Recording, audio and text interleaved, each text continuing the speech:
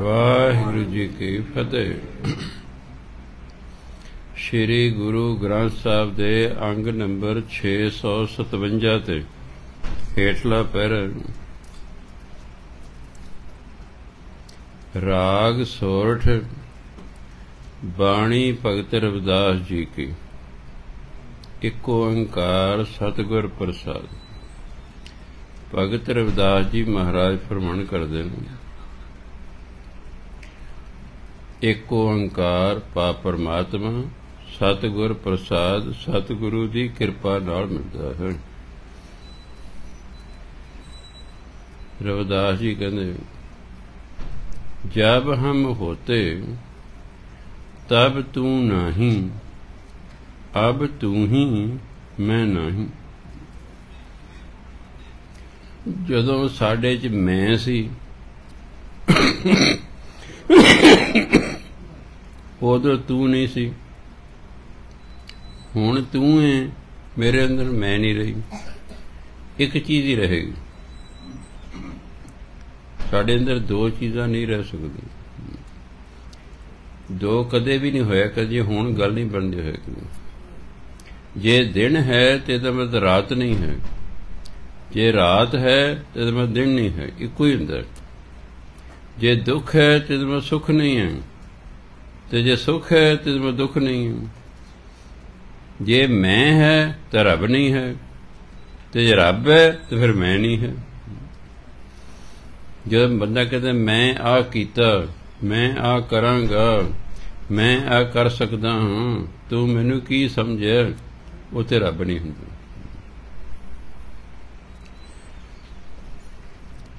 ਸੋ ਜਦੋਂ ਮਨੁੱਖ ਹਉਮੈ ਤਿਆਗ ਦਿੰਦਾ ਹੈ ਫਿਰ ਪਰਮਾਤਮਾ ਹਿਰਦੇ ਚ ਆ ਕੇ ਵਸਦਾ ਹੈ।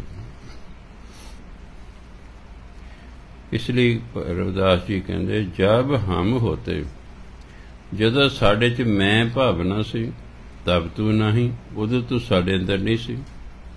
ਅਬ ਤੂੰ ਹੀ, ਹੁਣ ਤੂੰ ਸਾਡੇ ਅੰਦਰ ਵਸ ਗਿਆ, ਮੈਂ ਨਹੀਂ, ਮੇਰੇ ਅੰਦਰ ਮੈਂ ਖਤਮ ਹੋ ਗਈ ਅਨਲ, ਹਿੰਦੀ ਦਾ ਸ਼ਬਦ ਹੈ ਹਵਾ। ਅਗੰਮ ਬਹੁਤ ਜ਼ਿਆਦਾ। ਅਨਲ ਅਗੰਮ ਜੈਸੇ ਲਹਿਰ ਮੈਂ ਉਹਦੇ ਮੈਂ ਹੁੰਦਾ ਵਿੱਚ ਉਹਦੇ ਹੁੰਦਾ ਸਮੁੰਦਰ। ਜਦੋਂ ਬਹੁਤ ਹਵਾ ਚੱਲਦੀ ਹੈ, ਤਾਂ ਸਮੁੰਦਰ ਦੇ ਵਿੱਚ ਲਹਿਰ ਉੱਠਦੀਆਂ ਅਨਲ ਅਗੰਮ, ਜਦੋਂ ਬਹੁਤ ਹਵਾ ਚੱਲਦੀ ਹੈ, ਲਹਿਰ ਮੈਂ ਉਹਦੇ ਤਾਂ ਫਿਰ ਸਮੁੰਦਰ ਦੇ ਵਿੱਚੋਂ ਲਹਿਰ ਉੱਠਦੀਆਂ ਪਰ ਜਲ ਕੇਵਲ ਜਲ ਮਾਹੀ, ਭਾਵੇਂ ਉਹ ਲਹਿਰਾਂ ਸਮੁੰਦਰ ਚੁੜਦੀਆਂ ਨੇ। ਲਹਿਰਾਂ ਤੇ ਸਮੁੰਦਰ ਅੱਡ-ਅੱਡ ਦਿਸਦਾ ਪਰ ਲਹਿਰਾਂ ਦਾ ਜਿਹੜਾ ਪਾਣੀ ਹੈ, ਉਹ ਸਮੁੰਦਰ ਦੇ ਪਾਣੀ ਇਸ ਲਈ ਲਹਿਰਾਂ ਦੇ ਵਿੱਚ ਤੇ ਸਮੁੰਦਰ ਵਿੱਚ ਕੋਈ ਫ਼ਰਕ ਨਹੀਂ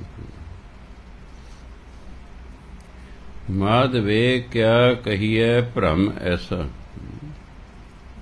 ਹੈ ਪਰਮਾਤਮਾ ਮਾਧਵੇ ਕੀ ਕਹੀਏ? ਭਰਮ ਹੁੰਦੇ ਹੀ ਹੋ ਜੇ ਜੋ ਅਸਲੀਅਤ ਹੈ, ਉਹ ਨਕਲੀ ਲੱਗੇ ਤੇ ਜੋ ਨਕਲੀ ਹੈ, ਉਹ ਅਸਲੀ ਲੱਗੇ, ਇਹ ਭਰਮ ਹੈ। ਜਿਵੇਂ ਉਦਾਹਰਣ ਵੀ ਦਿੱਤੇ ਗੁਰਬਾਣੀ ਚ। ਰਾਜ ਭੁਅੰਗ ਰਾਜ ਰੱਸੀ ਨੂੰ ਕਹਿੰਦੇ ਭੁਅੰਗ ਸੱਪ ਨੂੰ ਕਹਿੰਦੇ ਬੇ ਵੇੜੇ 'ਚ ਰੱਸੀ ਪਈ ਹੈ, ਹਨੇਰਾ ਹੈ, ਬੰਦੇ ਨੇ ਲੱਗਦਾ ਇਹ ਸੱਪ ਹੈ। ਹੈ ਉਹ ਰੱਸੀ, ਪਰ ਲੱਗ ਰਿਹਾ ਸੱਪ ਇਹਨੂੰ ਕਹਿੰਦੇ ਭਰਮ?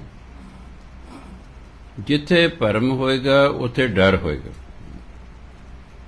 ਜਿੰਨਾ ਚਿਰ ਸਾਨੂੰ ਬ੍ਰਹਮ ਗਿਆਨ ਨਹੀਂ ਹੋ ਜਾਂਦਾ, ਅਸੀਂ ਡਰਦੇ ਹੀ ਰਹਾਂਗੇ। ਜਦੋਂ ਬ੍ਰਹਮ ਗਿਆਨ ਹੋ ਗਿਆ ਵੀ ਪ੍ਰਮਾਤਮਾ ਦੇ ਹੁਕਮ ਤੋਂ ਬਿਨਾ ਕੁਝ ਹੋ ਹੀ ਨਹੀਂ ਸਕਦਾ, ਫਿਰ ਗੱਲ ਖਤਮ। ਮੁੰਜ ਗਿਆਨ ਹੋਣਾ ਮੇਰੇ ਵਰਗੇ ਵੀ, ਹਾਂਜੀ, ਪ੍ਰਮਾਤਮਾ ਦੇ ਹੁਕਮ ਤੋਂ ਬਿਨਾ ਸਾਨੂੰ ਕੋਈ ਮਾਰ ਨਹੀਂ ਸਕਦਾ। ਕੋਈ ਜਿਉਂਦਾ ਨਹੀਂ ਰਸ, ਪਰ ਸਾਰੇ ਸੰਤਾਂ ਮਹਾਤਮਾ ਨੇ ਬਾਡੀਗਾਰਡ ਲਏ ਹੁੰਦੇ ਨੇ। ਪੋਲੀਟੀਕਲ ਬੰਦਿਆਂ ਨੇ ਵੀ ਬਾਡੀਗਾਰਡ ਲਏ ਹੁੰਦੇ ਨੇ। ਜਦੋਂ ਮਰਗ ਦੇ ਭੋਗ ਤੇ ਬੋਲਦੇ ਨੇ, ਉਹਦੇ ਕਿਤੇ ਗਿਆਨ ਘਾਲੇ ਸਭ ਦਿਵਸ ਸਾਸ, ਨੇ ਬੜਨ ਘਟਣ ਤੇ ਸਾਰ। ਪਰਮਾਤਮਾ ਨੇ ਸਵਾਸ ਤੇ ਦਿਨ ਗਿਣ ਕੇ ਪਾਤੇ। ਇਹ ਵਾਧੇ ਕੱਢਦੇ ਨੇ। ਪਰ ਕਿਸੇ ਨੂੰ ਵਿਸ਼ਵਾਸ ਹੀ ਨਹੀਂ ਹੈਗਾ। ਜਿੰਨੇ ਸਵਾਸ ਮੈਂ ਲੈਣੇ ਨੇ ਉਨੇ ਹੀ ਲੈਣੇ। ਨਾ ਇਹਨਾਂ ਨੂੰ ਕੋਈ ਵਧਾ ਸਕਦਾ, ਨਾ ਕੋਈ ਘਟਾ ਸਕਦਾ। ਸਾਡੇ ਨਾਲ ਜੋ ਹੋਣਾ ਪ੍ਰਮਾਤਮਾ ਦੇ ਹੁਕਮ ਨਾਲ ਹੋਣਾ ਹੈ, ਚੰਗਾ ਮੰਦਾ ਜੋ ਵੀ ਹੈ। ਇਸ ਕਰਕੇ ਪਰਮ ਐਸਾ ਹੈ। ਕੈਸਾ? ਜੈਸਾ ਮਾਨੀਏ ਹੋਏ ਨਾ ਤਸ। ਜਿਹੋ ਜਿਹਾ ਅਸੀਂ ਮੰਨ ਰਹੇ ਹਾਂ, ਉਹ ਜਿਹਾ ਹੁੰਦਾ ਨਹੀਂ ਹੈ। ਮਨ ਮੰਨਿਆ ਵੀ ਇਹ ਤਾਂ ਸੱਪ ਹੈ। ਜਦੋਂ ਚਾਨਣ ਕੀਤਾ, ਫਿਰ ਪਤਲਾ ਉਹ ਤੇ ਰੱਸੀ ਹੈ। ਜਿੰਨਾ ਚਿਰ ਭਰਮ ਰਿਹਾ, ਸੱਪ ਦਾ ਉਹਦੇ ਚ ਡਰ ਰਿਹਾ। ਜਦੋਂ ਚਾਨਣ ਕੀਤਾ, ਭਰਮ ਖਤਮ ਹੋ ਗਿਆ, ਡਰ ਖਤਮ ਹੋ ਗਿਆ। ਜਿੰਨਾ ਚਿਰ ਭਰਮ ਹੋਏਗਾ ਉਹਨਾਂ ਚਿਰ ਡਰ ਰਹੇਗਾ, ਹੀ ਰਹੇਗਾ। ਤੇ ਭਰਮ ਗਿਆਨ ਬ੍ਰਹਮ ਗਿਆਨ ਤੋਂ ਬਿਨਾ ਖਤਮ ਨਹੀਂ ਹੁੰਦਾ। ਤੇ ਬ੍ਰਹਮ ਗਿਆਨੀ ਕਿਉਂਕਿ ਕੋਈ ਵਿਰਲਾ ਟਾਮਾ ਹੁੰਦਾ ਹੈ, ਇਸ ਕਰਕੇ। ਪੰਗਾਣੀ ਦੇ ਯੁੱਧ 'ਚ ਕਿਹੜੇ ਜਲ ਪਲਾ ਪਲਾ ਰਹੇ ਸਨ? ਮਸ਼ਕ ਨਾਲ? ਭਾਈ ਕਨਈਆ ਜੀ। ਕਿਰਪਾਨ ਵੀ ਉਹਨਾਂ ਪਾਈ ਹੋਈ ਸੀ, ਪਰ ਕਿਰਪਾਨ ਉਹਨਾਂ ਨੇ ਪਿਛਲੇ ਪਾਸੇ ਕੀਤੀ ਹੋਈ ਸੀ। ਸਿੱਖਾਂ ਨੇ ਦਸਮ ਪਾਸ ਸ਼ਿਕਾਇਤ ਲਾਈ। ਜੀ ਵੀ ਇਹਨੇ ਕਿਰਪਾਨ ਨੂੰ ਪਿਛਲੇ ਪਾਸੇ ਕੀਤਾ ਹੋਇਆ ਜੀ ਜੇ ਦੁਸ਼ਮਣ ਹਮਲਾ ਕਰਦੇ, ਫਿਰ ਇਹ ਕੀ ਕਰੇਗਾ? ਦਸਮ ਪਾਸ਼ ਸੱਦਿਆ, ਭਾਈ ਕਨਈਆ ਜੀ ਕਹਿੰਦੇ ਜੀ, ਮੈਂ ਤਾਂ ਪਿਛਲੇ ਪਾਸੇ ਇਸ ਲਈ ਕੀਤੀ ਜਿਨੇ ਮੈਨੂੰ ਮਾਰਨਾ ਆ ਮੇਰੀ ਕਿਰਪਾਨ ਨਾਲ ਹੀ ਮਾਰ ਦੋ। ਉਹ ਕਹਿੰਦੇ, ਇਹ ਹੈ ਬ੍ਰਹਮ ਗਿਆਨੀ ਜਿਨੇ ਮੈਨੂੰ ਮਾਰਨਾ ਵੀ ਤੈਨੂੰ ਹਥਿਆਰ ਲਿਆਉਣ ਦੀ ਲੋੜ ਨਹੀਂ, ਇਹ ਮੇਰੀ ਕਿਰਪਾਨ ਲੈ ਕੇ ਮੈਨੂੰ ਮਾਰ ਦੇ। ਕੋਈ ਵਿਰਲਾ ਟਾਵਾ ਇਹਨੇ ਵਿਸ਼ਵਾਸ ਚੜਦਾ ਇਸ ਲਈ ਕਹਿੰਦੇ ਭ੍ਰਮ ਕੀ ਹੁੰਦਾ ਹੈ? ਮਾਧਵੇ ਕਿਆ ਕਹੀਏ ਭ੍ਰਮ ਐਸਾ? ਭਰਮ ਐਸਾ ਹੁੰਦਾ ਹੈ। ਇਹਦੇ ਬਾਰੇ ਕੀ ਕਹੀਏ? ਜੈਸਾ ਮਾਨੀਏ ਹੋਏ ਨਾ ਤਸ। ਜਿਹੋ ਸੀ ਪਸਾਹੀ ਭਰਮ। ਜਿਵੇਂ ਮ੍ਰਿਗ ਹੈ, ਗਰਮੀਆਂ ਦਾ ਮੌਸਮ ਹੈ, ਰੇਤਲੇ ਇਲਾਕੇ 'ਚ ਹੈ। ਦੂਰ ਵੇਖਦਾ ਵੀ ਪਾਣੀ ਹੈ। ਨੇੜੇ ਜਾਂਦਾ ਪਾਣੀ ਹੈ ਨਹੀਂ, ਭਰਮ ਹੈ। ਦੂਰੋਂ ਵੇਖਿਆ ਧਰਤੀ 'ਚ ਹਵਾੜ ਨਿਕਲ ਰਹੇ ਸੀ, ਉਹਨੂੰ ਐ ਲੱਗਿਆ ਪਾਣੀ ਹੈ। ਉਹ ਪਾਣੀ ਦੀ ਭਾਲ 'ਚ ਉਧਰ ਭੱਜਿਆ ਗਿਆ, ਉੱਥੇ ਗਿਆ, ਉੱਥੇ ਪਾਣੀ ਹੈ ਨਹੀਂ। ਪਾਣੀ ਹੈ ਨਹੀਂ, ਪਰ ਲੱਗ ਰਿਹਾ ਹੈ, ਇਹਨੂੰ ਭਰਮ ਕਹਿੰਦੇ।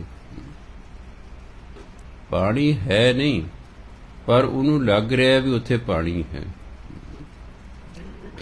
ਰਹਾਉ ਨਰਪਤ ਏਕ ਸਿੰਘਾਸਨ ਸੋਇਆ, ਸੁਪਨੇ ਪਿਆ ਭਿਖਾਰੀ। ਨਰਪਤ ਰਾਜੇ ਨੂੰ ਕਹਿੰਦੇ ਇੱਕ ਰਾਜਾ ਰਾਤ ਨੂੰ ਆਪਣੇ ਸਿੰਘਾਸਣ ਤੇ ਸੁੱਤਾ ਹੋਇਆ ਸੀ। ਸੁਪਨਾ ਆਇਆ, ਉਹ ਤੇ ਭਿਖਾਰੀ ਬਣ ਗਿਆ। ਇਹ ਵੀ ਬੜੇ ਡਰਾਉਣੇ ਸੁਪਨੇ ਨੇ। ਅਛਤ ਰਾਜ, ਇਹਨੂੰ ਖੈਰ ਰੱਖਣਾ ਅਛਤ ਨਹੀਂ ਪੜ ਦੇਣਾ ਅਛਤ ਹੁੰਦਾ ਹੁੰਦਿਆਂ ਸੁੰਦਿਆਂ। ਅਛਤ ਰਾਜ ਵਿਚਰਤ ਦੁੱਖ ਪਾਇਆ। ਹਾਲਾਂਕਿ ਰਾਜੇ ਕੋਲ ਰਾਜ ਹੈ, ਪਰ ਸੁਪਨੇ 'ਚ ਭਿਖਾਰੀ ਬਣ ਗਿਆ ਹੈ। ਰਾਜ ਖੁੱਸ ਗਿਆ ਹੈ, ਇਸ ਲਈ ਦੁਖੀ ਹੈ। ਹੈ ਤੇ ਰਾਜੇ ਹੀ। ਰਾਜ ਹੁੰਦਿਆਂ ਸੁੰਦਿਆਂ ਵਿਛੜ ਕੇ ਦੁੱਖ ਪਾ ਰਿਹਾ ਹੈ। ਸੋ ਗਤ ਪਈ ਹਮਾਰੀ, ਗਤ ਦੀ ਹਾਲਤ ਇਹੀ ਹਾਲ ਸਾਡਾ। ਇਹੀ ਹਾਲ ਸਾਡਾ ਅਸੀਂ ਵੀ ਪ੍ਰਮਾਤਮਾ ਤੋਂ ਵਿਛੜ ਕੇ ਦੁਖੀ ਹੋ ਰਹੇ ਹਾਂ। ਹੈ ਸਾਡੇ ਅੰਦਰ ਹੀ ਪ੍ਰਮਾਤਮਾ। ਪਰ ਉਹਨੂੰ ਅਸੀਂ ਕਿਤੇ ਦੂਰ ਸਮਝੀ ਬੈਠੇ ਹਾਂ। ਕਿਸੇ ਲਈ ਦੁਖੀ ਹੁੰਦੇ ਰਹਿੰਦੇ ਹਾਂ। ਅੰਦਰ ਹੈ। ਗੁਰਬਾਣੀ ਚ ਜੀ ਪਾਠ ਸੁਣ ਲਾਇਨ ਇਸ ਦੇਤ ਦਰਸ਼ਨ, ਸ਼ਰਵਣ ਹਰਜਸ, ਰਸਣ ਨਾਮ ਬਖਾਨ। ਪਰਮਾਤਮਾ ਕਦੋਂ ਦਰਸ਼ਨ ਦਿੰਦਾ ਹੈ? ਜਦੋਂ ਰਸਨਾ ਨਾਲ ਤੁਸੀਂ ਕਹੋ, ਵਾਹਿਗੁਰੂ ਤੇ ਕੰਨਾਂ ਨਾਲ ਸੁਣੋ, ਬਸ। ਐ ਨਹੀਂ ਇਹ ਗੱਲ। ਅਸੀਂ ਜੀਵ ਨਾਲ ਵਾਹਿਗੁਰੂ ਹਰ ਕਰਦੇ ਰਹਿੰਦੇ ਆ ਧਿਆਨ ਸਾਡਾ ਕਦੇ ਬਾਜ਼ਾਰ 'ਚ ਗਿਆ, ਕਦੇ ਕੁੜੀ ਦੇ ਵਿਆਹ ਕਰ ਰਿਹਾ, ਕਿਤੇ ਲੱਭ ਰਿਹਾ ਜਵਾਕ, ਧਿਆਨ ਇਧਰ। ਇਸ ਲਈ ਸਾਨੂੰ ਪ੍ਰਾਪਤੀ ਨਹੀਂ ਹੁੰਦੀ। ਸਾਨੂੰ ਰੱਬ ਨਾ ਮਿਲਦਾ ਆਹੀ ਕਾਰਨ ਹੈ ਕਿ ਅਸੀਂ ਵਾਹਿਗੁਰੂ ਵਾਹਿਗੁਰੂ ਤੇ ਕਰਦੇ ਹਾਂ ਉਹਨੂੰ ਸੁਣਦੇ ਨਹੀਂ ਹੈਗੇ। ਸੁਣਦੇ ਨਹੀਂ। ਬਾਣੀ ਪੜ੍ਹਦੇ ਆ, ਬਾਣੀ ਨੂੰ ਸੁਣਦੇ ਨਹੀਂ ਹੈਗੇ। ਬਾਣੀ ਪੜ੍ਹ ਰਹੇ ਹਾਂ ਮੂੰਹ ਬੋਲੀ ਜਾ ਰਿਹਾ ਹੈ, ਧਿਆਨ ਪਰ ਕਿੱਥੇ ਗਿਆ ਹੋਇਆ ਹੈ। ਇਸ ਲਈ ਪ੍ਰਾਪਤੀ ਨਹੀਂ ਹੁੰਦੀ। ਪ੍ਰਾਪਤੀ ਹੁੰਦੀ ਹੈ ਜਦੋਂ ਸ਼ਬਦ ਅਤੇ ਸੁਰਤ ਦਾ ਮੇਲ ਹੋ ਜਾਏ। ਸੁਰਤ ਹੁੰਦਾ ਧਿਆਨ, ਸ਼ਬਦ ਦੇ ਵਿੱਚ ਧਿਆਨ ਹੋਵੇ। ਬਾਣੀ ਪੜ ਰਹੇ ਹਾਂ ਬਾਣੀ ਦੇ ਵਿੱਚ ਧਿਆਨ ਹੋਵੇ। ਨਾਮ ਜਪ ਰਹੇ ਹਾਂ ਨਾਮ ਦੇ ਵਿੱਚ ਧਿਆਨ ਹੋਵੇ। ਜਿੰਨੀ ਇਕਾਗਰਤਾ ਹੋਏਗੀ, ਉਹਦੇ ਅਨੁਸਾਰ ਪ੍ਰਾਪਤੀ ਹੁੰਦੀ ਹੈ। ਇਸ ਲਈ ਸਾਡਾ ਵੀ ਇਹੀ ਹਾਲ ਹੈ। ਰਾਜਾ ਹੈ, ਸਿੰਘਾਸਣ ਤੇ ਸੁੱਤਾ ਹੋਇਆ ਸੁਪਰੇ 'ਚ ਭਿਖਾਰੀ ਹੋ ਗਿਆ। ਅਛਤ ਰਾਜ ਰਾਜ ਹੁੰਦਿਆਂ ਸੁੰਦਿਆਂ ਵਿਛੜਤ ਦੁੱਖ ਪਾਇਆ। ਰਾਜ ਤੋਂ ਵਿਛੜ ਗਿਆ। ਕਿ ਭਿਖਾਰੀ ਬਣ ਗਿਆ ਸੋ ਗਤ ਪਈ ਹਮਾਰੀ, ਇਹੀ ਹਾਲ ਕਦੇ ਸਾਡਾ ਹੈ। ਸਾ ਅਸੀਂ ਵੀ ਸੁਪਨੇ 'ਚ ਲੰਘ ਰਹੇ ਹਾਂ। ਨਵੇਂ ਪਾਸ਼ਾ ਕਹਿੰਦੇ, ਹਰ ਇੱਕ ਇਨਸਾਨ ਸੁਪਨੇ ਵਿੱਚ ਹੈ। ਇਹ ਜਾਗਰਤ ਅਵਸਥਾ 'ਚ ਨਹੀਂ ਹੈ। ਕਿਸ ਦਾ ਸੁਪਨਾ 70 ਸਾਲ ਦਾ, ਕਿਸ ਦਾ 80 ਸਾਲ ਦਾ, ਕਿਸ ਦਾ 100 ਸਾਲ ਦਾ, ਕਿਸ ਦਾ 2 ਮਹੀਨੇ ਦਾ 4 ਮਹੀਨੇ ਜਿੰਨੀ ਉਮਰ ਹੈ। ਜਦੋਂ ਅਸੀਂ ਮਰਦੇ ਹਾਂ, ਇਹਦਾ ਮਤਲਬ ਸਾਡਾ ਸੁਪਨਾ ਟੁੱਟ ਗਿਆ, ਹੋਰ ਕੁਝ ਨਹੀਂ ਹੈ। ਅਸੀਂ ਨਾ ਜੰਮਦੇ ਹਾਂ, ਨਾ ਮਰਦੇ ਹਾਂ। ਅਸੀਂ ਜੰਮਦੇ ਮਰਦੇ ਨਹੀਂ ਹਾਂ। ਅਸੀਂ ਸਿਰਫ ਆਪਣਾ ਚੋਲਾ ਬਦਲਦੇ ਜਿਵੇਂ ਜਿਹੜੇ ਤੁਸੀਂ ਹੋਰ ਕੱਪੜੇ ਪਾਏ ਹੁੰਦੇ ਨੇ, ਉਹ ਸ਼ਾਨ ਨੂੰ ਲਾ ਕੇ ਦੂਜੇ ਪਾ ਲੈਂਦੇ ਹੋ। ਤੁਸੀਂ ਤੇ ਹੈ ਨਾ, ਕੱਪੜੇ ਬਦਲੇ ਨਾ। ਆਤਮਾ ਅੰਦਰ ਹੈ, ਸਿਰਫ ਸਰੀਰ ਬਦਲਦੀ ਹੈ। ਨਾ ਕਿਛ ਜਨਮੈ, ਨਾ ਕਿਛ ਮਰੈ। ਆਪਣ ਚਲਤ ਆਪ ਹੀ ਕਰ। ਕੁਛ ਜਮਦਾ ਮਰਦਾ ਨਹੀਂ ਹੈ। ਅਸੀਂ ਜਦੋਂ ਤੋਂ ਸਾਡੀ ਆਤਮਾ ਪਰਮਾਤਮਾ ਤੋਂ ਵਿਛੜੀ ਹੋਈ ਹੈ, ਉਦੋਂ ਤੋਂ ਹੀ ਅਸੀਂ ਜਿਉਂਦੇ ਹਾਂ, ਸਿਰਫ ਚੋਲੇ ਬਦਲਦੇ ਰਹਿੰਦੇ ਜਦੋਂ ਮਨੁੱਖ ਮਰਦਾ ਹੈ, ਇਹਦਾ ਮਤਲਬ ਹੈ ਉਹਦਾ ਸੁਪਨਾ ਹੁਣ ਟੁੱਟ ਗਿਆ ਹੈ। ਜਦੋਂ ਸੁਪਨਾ ਟੁੱਟਦਾ ਹੈ, ਉਹਨੂੰ ਪਤਾ ਲੱਗਦਾ ਉਹ ਮੈਂ 72 ਸਾਲ ਧੱਕੇ ਹੀ ਖਾਂਦਾ ਰਿਹਾ। ਵੀ ਪਰਮ ਜੀ ਭਟਕਦਾ ਰਿਹਾ। ਜਿਵੇਂ ਰਾਜਾ ਸੁਪਨੇ 'ਚ ਦੁਖੀ ਹੋ ਰਿਹਾ ਹੈ 80 ਸਾਲ ਹੋ ਗਏ ਮੈਨੂੰ ਦੁਖੀ ਹੁੰਦੇ ਹੋਏ ਇੰਨਾ ਲੰਮਾ ਸੁਪਨਾ ਜੇ ਪਨ ਕਿੰਨਾ ਲੰਮਾ ਹੈ। ਜਿੱਦੇ ਮੇਰਾ ਸੁਪਨਾ ਟੁੱਟਿਆ ਕਰਨ ਗਿਆ ਜੀ ਬਾਬਾ ਜੀ ਦੀ ਡੈਥ ਹੋ ਗਈ। ਸੁਪਨਾ ਹੀ ਟੁੱਟ ਗਿਆ। ਜਦੋਂ ਮੇਰਾ ਸੁਪਨਾ ਟੁੱਟੇਗਾ, ਫੇਰ ਮੈਨੂੰ ਪਤਾ ਲੱਗੇਗਾ, ਓਹੋ, ਮੇਰਾ ਤਾਂ ਸੁਪਨਾ 90 ਸਾਲ ਲੰਮਾ ਸੀ। ਐਵੇਂ ਮੈਂ 90 ਸਾਲ ਦੁਖੀ ਹੋਈ ਗਿਆ। ਸੋ ਨਵੇਂ ਪਾਸ਼ਾ ਕਹਿੰਦੇ ਨੇ, ਅਸੀਂ ਬਹੁਤ ਲੰਮੇ ਸੁਪਨੇ 'ਚ ਲੰਘ ਰਹੇ ਹਾਂ। ਜਦੋਂ ਬ੍ਰਹਮ ਗਿਆਨ ਹੁੰਦਾ ਉਦੋਂ ਸਾਡਾ ਸੁਪਨਾ ਜਿਉਂਦੇ ਟੁੱਟ ਜਾਂਦਾ ਬਸ। ਫੇਰ ਪਤਾ ਲੱਗਦਾ ਵੀ ਜਿੰਨਾ ਸਾਲ ਜਿਉ ਲੈ ਇਹ ਤਾਂ ਐਵੇਂ ਵਿਅਰਥ ਹੀ ਗਏ। ਵੈਸੇ ਗਏ। ਜਿੰਨਾ ਚਿਰ ਬ੍ਰਹਮ ਗਿਆਨ ਨਹੀਂ ਹੁੰਦਾ, ਸਾਡਾ ਸੁਪਨਾ ਰਹਿੰਦਾ ਹੈ। ਬ੍ਰਹਮ ਗਿਆਨ ਹੋ ਜਾਣ ਤੋਂ ਬਾਅਦ ਜਿਉਂਦਿਆਂ ਹੀ ਸੁਪਨਾ ਟੁੱਟ ਜਾਂਦਾ ਤੇ ਸਾਨੂੰ ਅਸਲੀਅਤ ਦਾ ਪਤਾ ਲੱਗਦਾ ਵੀ ਅਸੀਂ ਅਸੀਂ ਹੈ, ਅਸਲ ਕੀ ਸੀ ਅਸੀਂ? ਬੇਸ ਤਾਂ ਐਵੇਂ ਇੰਨੀ ਜ਼ਿੰਦਗੀ ਭਟਕਦੇ ਰਹੇ, ਦੁਖੀ ਹੁੰਦੇ ਰਹੇ। ਸੁਪਨੇ ਜੀ ਬਿਮਾਰ ਹੋਏ, ਸੁਪਨੇ ਜੀ ਡਾਕਟਰਾਂ ਕੋਲੇ ਗਏ, ਸੁਪਨੇ ਜੀ ਸਰਜਰੀ ਕਰਵਾਈ, ਸੁਪਨੇ ਜੀ ਰਾਜੇ ਬਣ ਗਏ, ਸੁਪਨੇ ਜੀ ਭਿਖਾਰੀ ਬਣ ਗਏ। ਬੜਾ ਲੰਮਾ ਸੁਪਨਾ ਹੈ। ਅੱਗੇ ਉਦਾਹਰਨ ਦਿੰਦੇ ਨੇ। ਰਾਜ ਭਯੰਗ ਪ੍ਰਸੰਗ ਜੈਸੇ ਹੈ। ਪ੍ਰਸੰਗ ਗੱਗੇ ਨੂੰ ਔਂਕੜ ਨਹੀਂ ਹੈ। ਇਹਦਾ ਪ੍ਰਸੰਗ ਬਹੁਵਚਨ ਹੈ। ਜਦੋਂ ਬਹੁਵਚਨ ਹੋਏਗਾ, ਫਿਰ ਅੱਗੇ ਜੇ ਪ੍ਰਸੰਗ ਗੱਗੇ ਨੂੰ ਔਂਕੜ ਹੁੰਦਾ ਨਾ, ਫਿਰ ਪਤਾ ਕੀ ਹੁੰਦਾ? ਰਾਜ ਭਯੰਗ ਪ੍ਰਸੰਗ ਜੈਸਾ ਹੈ। ਫਿਰ ਹੁਣ ਅਸੀਂ ਹੈ, ਆਖਰ ਦਲਾਵਾਂ ਇਹ ਜੈਸੇ ਦੱਸ ਰਿਹਾ ਕਿ ਬਹੁਵਚਨ ਹੈ। ਇਸ ਲਈ ਅੱਗੇ ਹੈ। ਬਹੁਵਚਨ ਜਿਹੜਾ ਹੈ ਕਿਰਿਆ, ਨਕਰੀ ਬੋਲੀ ਜਾਂਦੀ ਹੈ। ਰਾਜ ਭਯੰਗ ਪ੍ਰਸੰਗ ਜੈਸੇ ਹੈ। ਅਬ ਕਛ ਮਰਮ ਜਿਨਾਏ ਰਾਜ ਕਹਿੰਦੇ ਰੱਸੀ ਨੂੰ। ਭਯੰਗ ਕਹਿੰਦੇ ਸੱਪ ਨੂੰ। ਪ੍ਰਸੰਗ ਹੁੰਦੀ ਕਥਾ ਕਹਾਣੀ। ਜਿਵੇਂ ਰੱਸੀ ਤੇ ਸੱਪ ਦੀ ਕਹਾਣੀ ਹੈ। ਹੁਣੀ ਮੈਂ ਤੁਹਾਨੂੰ ਸੁਣਾਈ। ਬਈ ਵਿਹੜੇ 'ਚ ਰੱਸੀ ਪਈ ਹੈ, ਹਨੇਰਾ ਹੈ, ਐ ਲੱਗਦਾ ਜੇ ਸੱਪ ਪਿਆ ਸੱਪ ਪਿਆ। ਜਦੋਂ ਲਾਈਟ ਆਨ ਕੀਤੀ, ਉਹ ਹਨੇਰਾ ਖਤਮ ਹੋ ਗਿਆ, ਉਹ ਭਰਮ ਵੀ ਖਤਮ ਹੋ ਗਿਆ, ਇਹ ਤਾਂ ਸੱਪ ਨਹੀਂ, ਇਹ ਤਾਂ ਰੱਸੀ ਹੈ। ਹਨੇਰਾ ਭਾਵ ਅਗਿਆਨਤਾ। ਜਿੰਨਾ ਚਿਰ ਅਸੀਂ ਅਗਿਆਨੀ ਹਾਂ, ਅਸੀਂ ਡਰਦੇ ਹੀ ਰਹਾਂਗੇ। ਜਦੋਂ ਹੋ ਗਿਆ ਬ੍ਰਹਮ ਗਿਆਨ, ਸਾਰਾ ਡਰ ਹੀ ਖਤਮ ਹੋ ਜਾਂਦਾ। ਸਾਰਾ ਡਰ ਖਤਮ ਹੋ ਜਾਂਦਾ। ਫਿਰ ਵੱਡੀ ਜਾਂ, ਟੁੱਕੀ ਜਾਂ, ਕੋਈ ਸੀ ਸੋ ਨਹੀਂ ਕਰਦਾ, ਹਾਲ ਪਾਰਾ ਨਹੀਂ ਕਰਦਾ, ਜੋ ਮਰਜ਼ੀ ਪੈ ਕਰੋ, ਗਿਆਨ ਹੋ ਗਿਆ। ਅਬ ਕੁਛ ਮਰਮ ਜਨਾ ਹੁਣ ਕੁਝ ਭੇਦ ਦਾ ਕਹਿੰਦੇ ਪਤਾ ਲੱਗਾ ਕਿ ਭਰਮ ਕਹਿੰਦੇ ਕਿ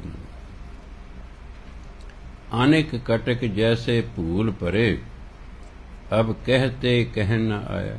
ਕਟਕ ਹੁੰਦਾ ਕੜੇ, ਸੋਨੇ ਦੇ ਕੜੇ। ਅਨੇਕਾਂ ਪ੍ਰਕਾਰ ਦੇ ਸੋਨੇ ਦੇ ਕੜਿਆਂ ਨੂੰ ਵੇਖ ਕੇ ਬੰਦਾ ਭੁੱਲ ਜਾਂਦਾ। ਸਮਝਦਾ ਕਿ ਸੋਨਾ ਵੀ ਕਈ ਪ੍ਰਕਾਰ ਦਾ ਹੁੰਦਾ ਹੈ। ਪਰ ਨਹੀਂ, ਸੋਨਾ ਤੇ ਇੱਕ ਹੀ ਹੈ। ਉਸ ਤੋਂ ਕੜੇ ਕਈ ਪ੍ਰਕਾਰ ਦੇ ਬਣਾ ਲਏ ਗਏ ਹਨ। ਇਸੇ ਤਰ੍ਹਾਂ ਹੀ ਇਹ ਜੀਵ ਹੈ। ਆਡੜ ਕਿਸਮਾਂ ਦੇ ਜੀਵ ਨੇ, ਪਰ ਸਾਰਾ ਚ ਆਤਮਾ ਉਹੀ ਹੈ।